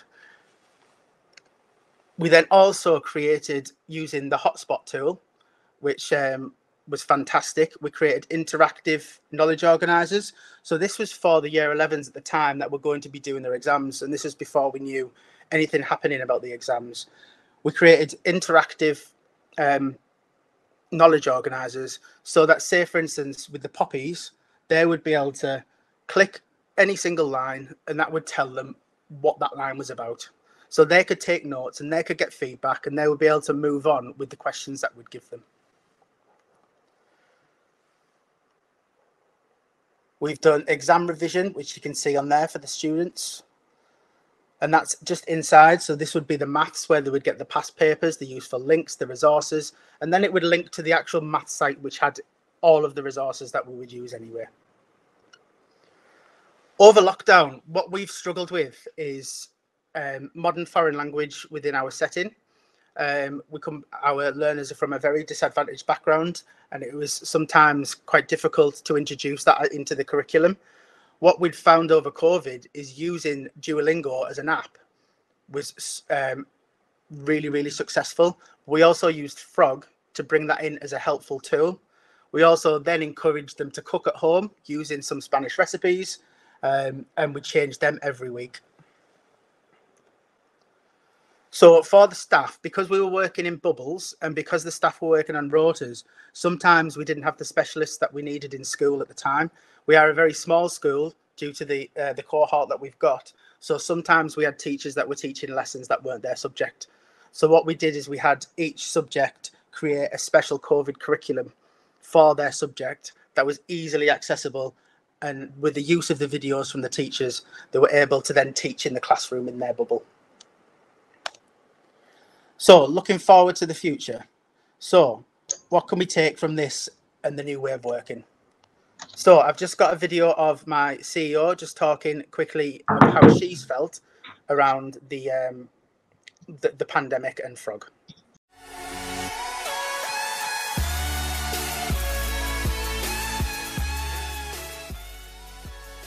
I'm Christina Jones. I'm Chief Executive of River Tees Multi Academy Trust. We work with um, learners who are highly disadvantaged, who've been excluded from school, or who can't attend their mainstream school due to health issues. So, having an online learning platform has been fundamental to the work we do um, over the last few years. During the last few weeks, um, during the unprecedented times of the COVID pandemic, we've really been able to develop our expertise using the platform. We've had really good feedback from learners, parents, and our staff about how easy it's been to use. And moving forward, we're going to make it a key element of our blended learning offer. We recognise some learners might have emotionally based school avoidance or might have anxieties that mean they're less likely to be able to cope with a full in school day um, having a learning platform like Frog means that we can really offer them a high quality learning experience that we're still assessing and in line with other learners who may be on different blended offers. Some of our learners that we've got at the moment, we found that the ones that weren't engaging before lockdown actually started to engage during lockdown. So from that, we're going to be introducing some of our learners on part-time timetables so introducing the technology for when they're at home as well as at school so they are actually getting their full education rather than the part-time that was available due to different circumstances and different needs um, we'll be providing more homework with it and with the specialist in every room so the videos and everything like that overall frog's been absolutely fantastic during this process and generally it's it's the it's been amazing in terms of how we've worked. So, um, it, yeah, it's been great. Thank you. Oh, that that's really that's so kind. Thank you. Thank you so much for for coming on today. No and I think it's a real accolade that the the kids that were on a part-time time timetable are now getting that full-time education. So thank you for sharing your story. Thanks. So um, the the last person to join us this morning before we bring Gareth back on stage, I am absolutely thrilled to welcome, and that's Mark Anderson. Now, Mark has worked with. Um, well, has been involved with the Froggies here for uh, a, a, couple, a good couple of years now, and uh, we bounce a lot of ideas off each other. So Mark, thank you so much. And um, hopefully we're going to hear about the tweet from your seat as well. So I'm going to hand straight over to you, Mark. Brilliant stuff. Thank you so much, Lucy. And just thank you so much, everybody. I've had such a fantastic day today.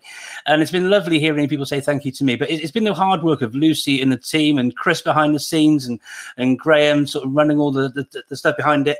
Uh, Tony Parkin tweeted a moment ago about how great the handover stuff you've been doing, Lucy, has been. And, and it's always a real great privilege to work with Because as an organization, you, you know, the, vision and values of the organization really, really shine through. Uh, I'm going to do that thing um, where I'm going to try and share my screen. And um, if you could help me, please, uh, Lucy, perhaps uh, just by giving me a, a, little nod when you can see uh, my presentation, which should be coming up about now. Um, I can see it.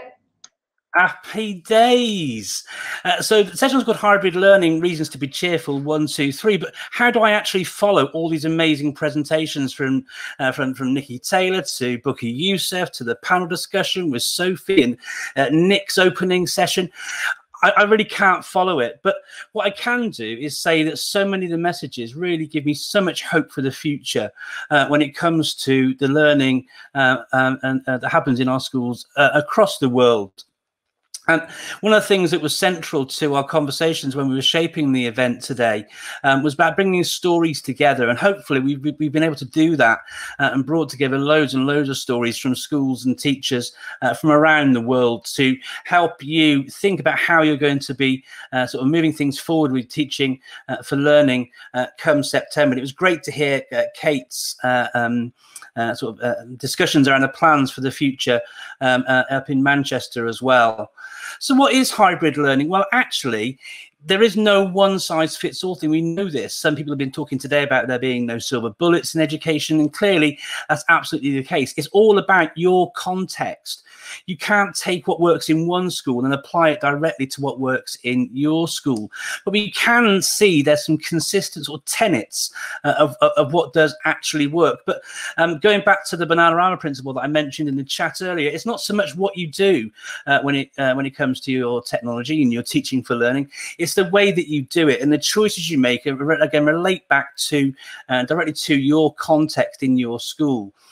Lots of us have heard these terms asynchronous and synchronous, but hybrid learning is actually that thing where we blend those things together. And hybrid learning is often sort of uh, has that uh, term blended learning uh, in there as well. And they're very much of a similar sort of a nature when you bring these two things together. And a polar approach we found during lockdown, um, where you have either one approach or the other approach, has tended to not be very successful. And so thinking carefully about how you blend these things together is much more likely to bring wins and, and things for you. Um, and something that's really central to that, uh, and that's been again resonated and really echoed through in, in nearly all of the presentations, presentations today, it goes to that really important triangulation between parents, the school and the child and that wrapper we can put around there. Um, it was really great to hear. Um, you know, so I mentioned in the chat earlier about Maslow's hierarchy of needs, and we, we saw that uh, in loads of the presentations from Nick's presentation uh, uh, right at the start of the day, where he was talking about providing structure. With structure comes confidence. We know what we're supposed to be doing, when we're supposed to be doing it, all those sorts of things. Providing those base level needs uh, to provide security uh, and structure and clarity for our children and our families, enables them to actually plan what they need to do in order to best support their children. And that's been really, really great to hear uh, echoed again and resonating through in lots of the conversations and we've heard over the course of the day. And obviously, with that, uh, students are much more likely to flourish and succeed than they otherwise would without that structure.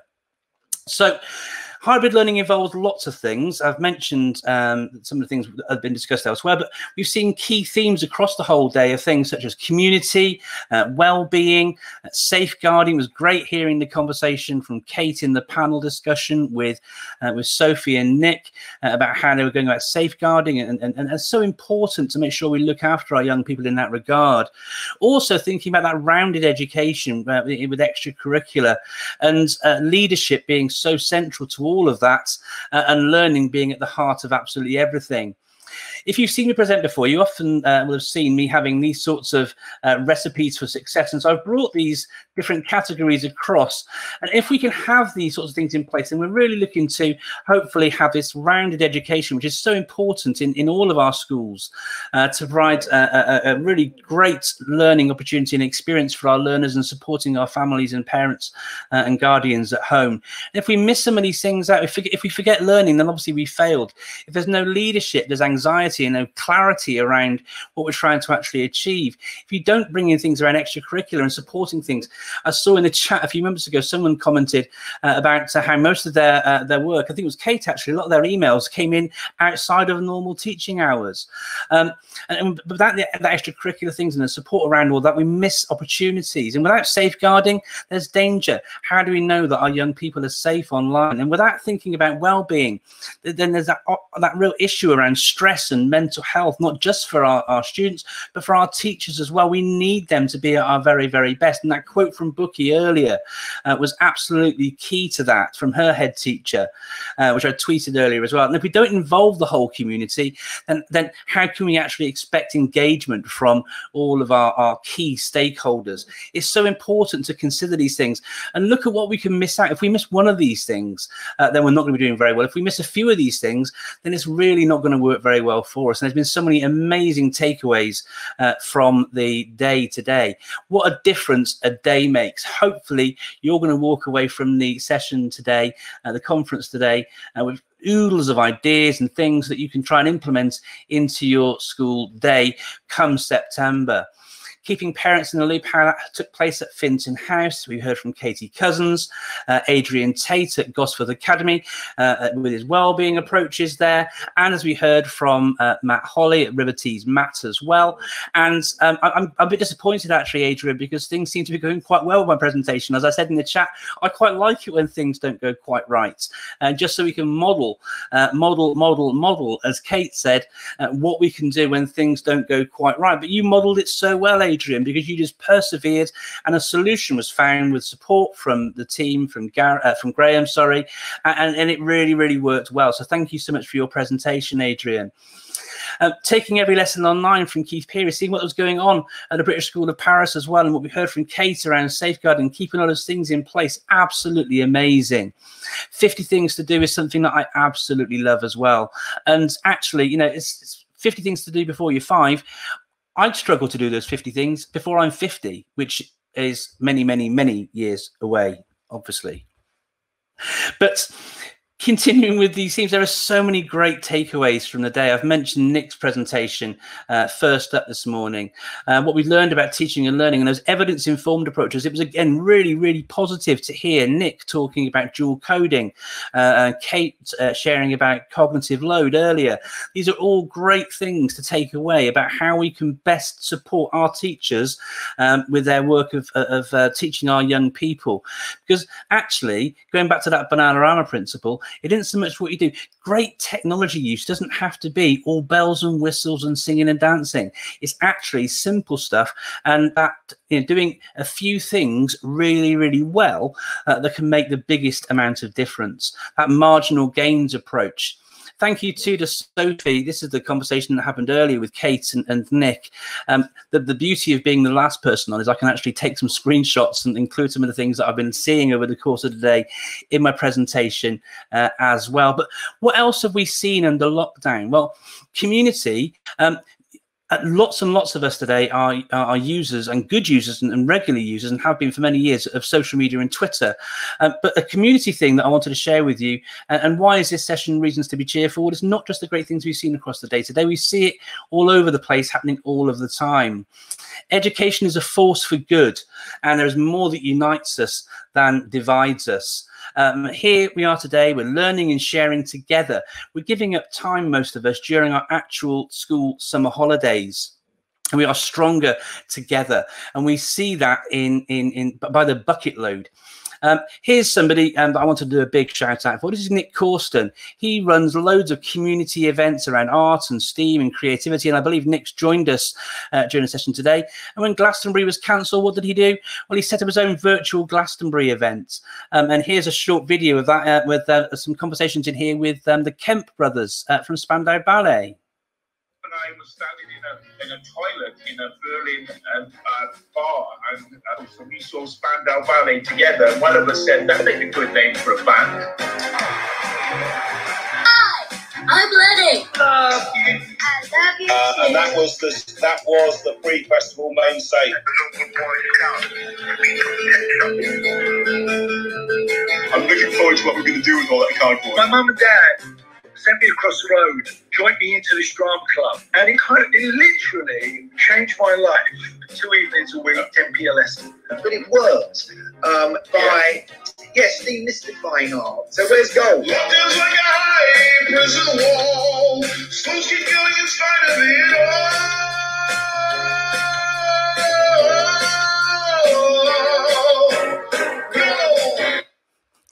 Yeah, that that took place. Um, it wasn't the real Glastonbury pyramid stage.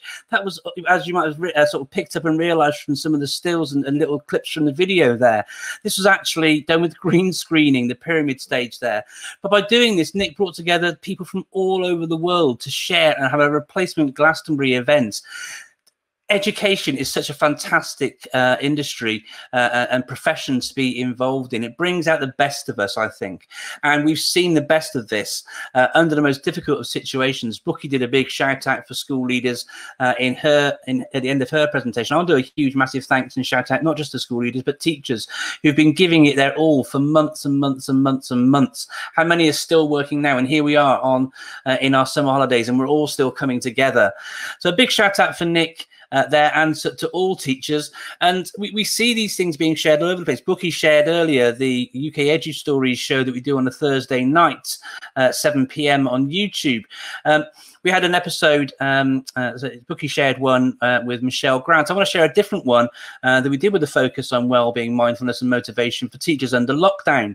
Uh, we had uh, Andrew Cowley on the show, uh, the author of the Well-being Toolkit, a, a real fantastic but with loads of sage advice about supporting well-being within your school. We had Ollie Lewis, um, again, an international flavour to this show. We had Ollie Lewis, who's an assistant head teacher at a school in Abu Dhabi.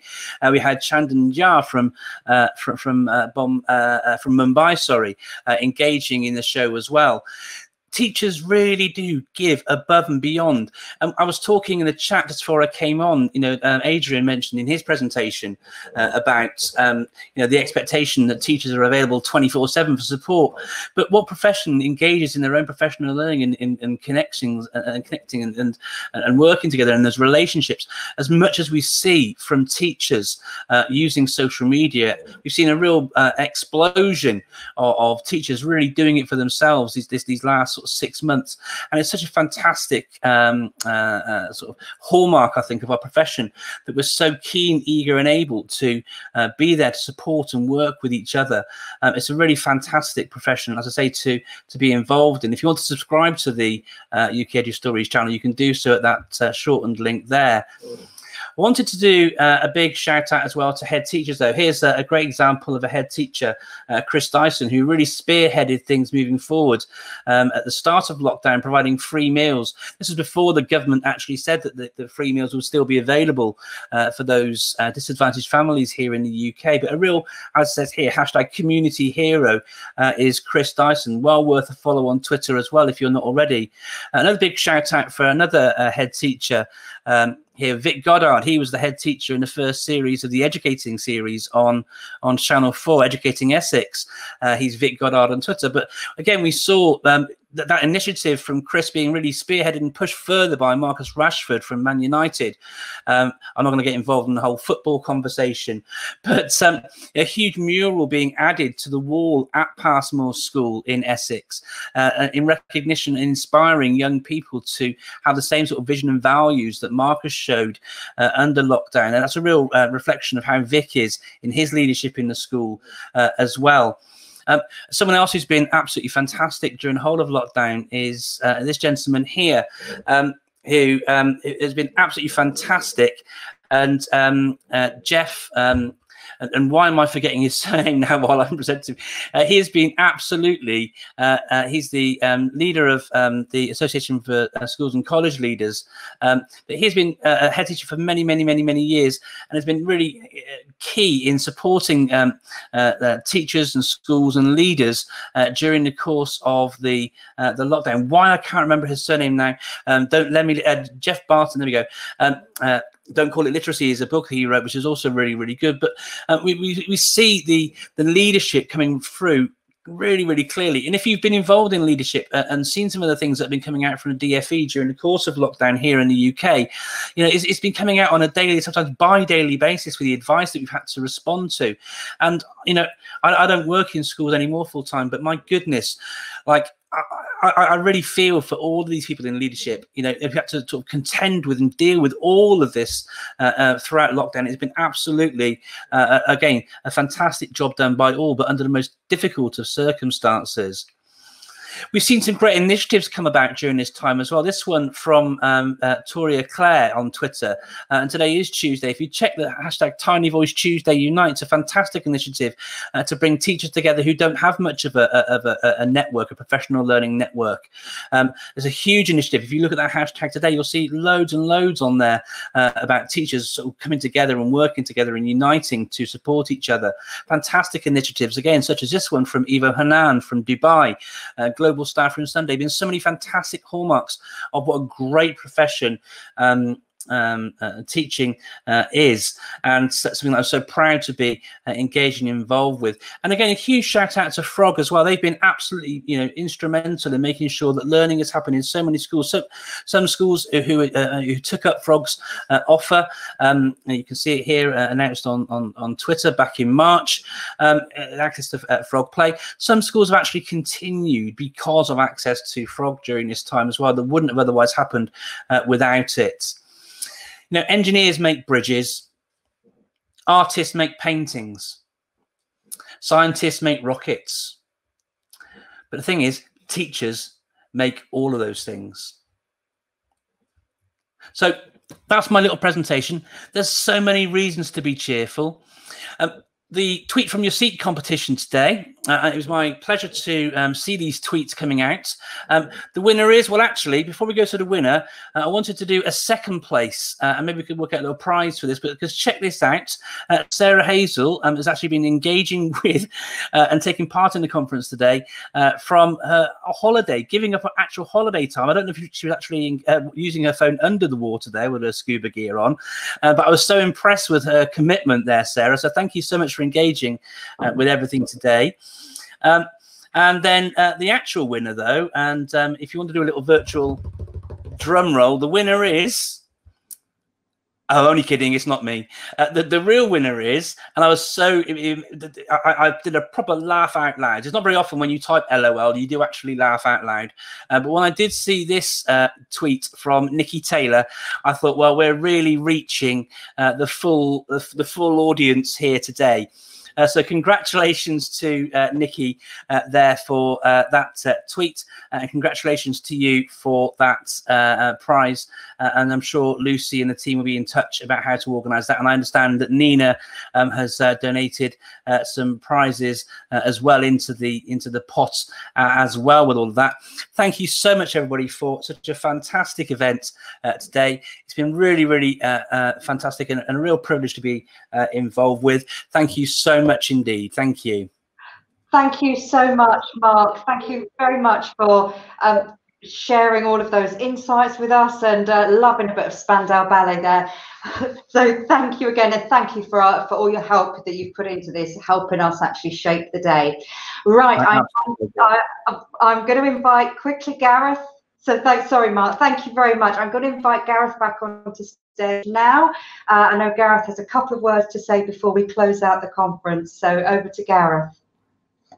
Hi, folks. Uh, I just wanted to say thank you to everyone. I think that actually worked really well. That was a, that was a good day. Thank you so much to all the speakers. Thank you to everybody that's attended. I think um, almost everybody that started is still here. So extra special thank you for that. Um, the chat's been brilliant. I think that's been a real a real winner. Um, if you'd like us to run other stuff like this, you know how to get hold of us. I think we can run more of these. Certainly, the cost of lunch has been a lot cheaper doing it this way. So the more, the merrier for me.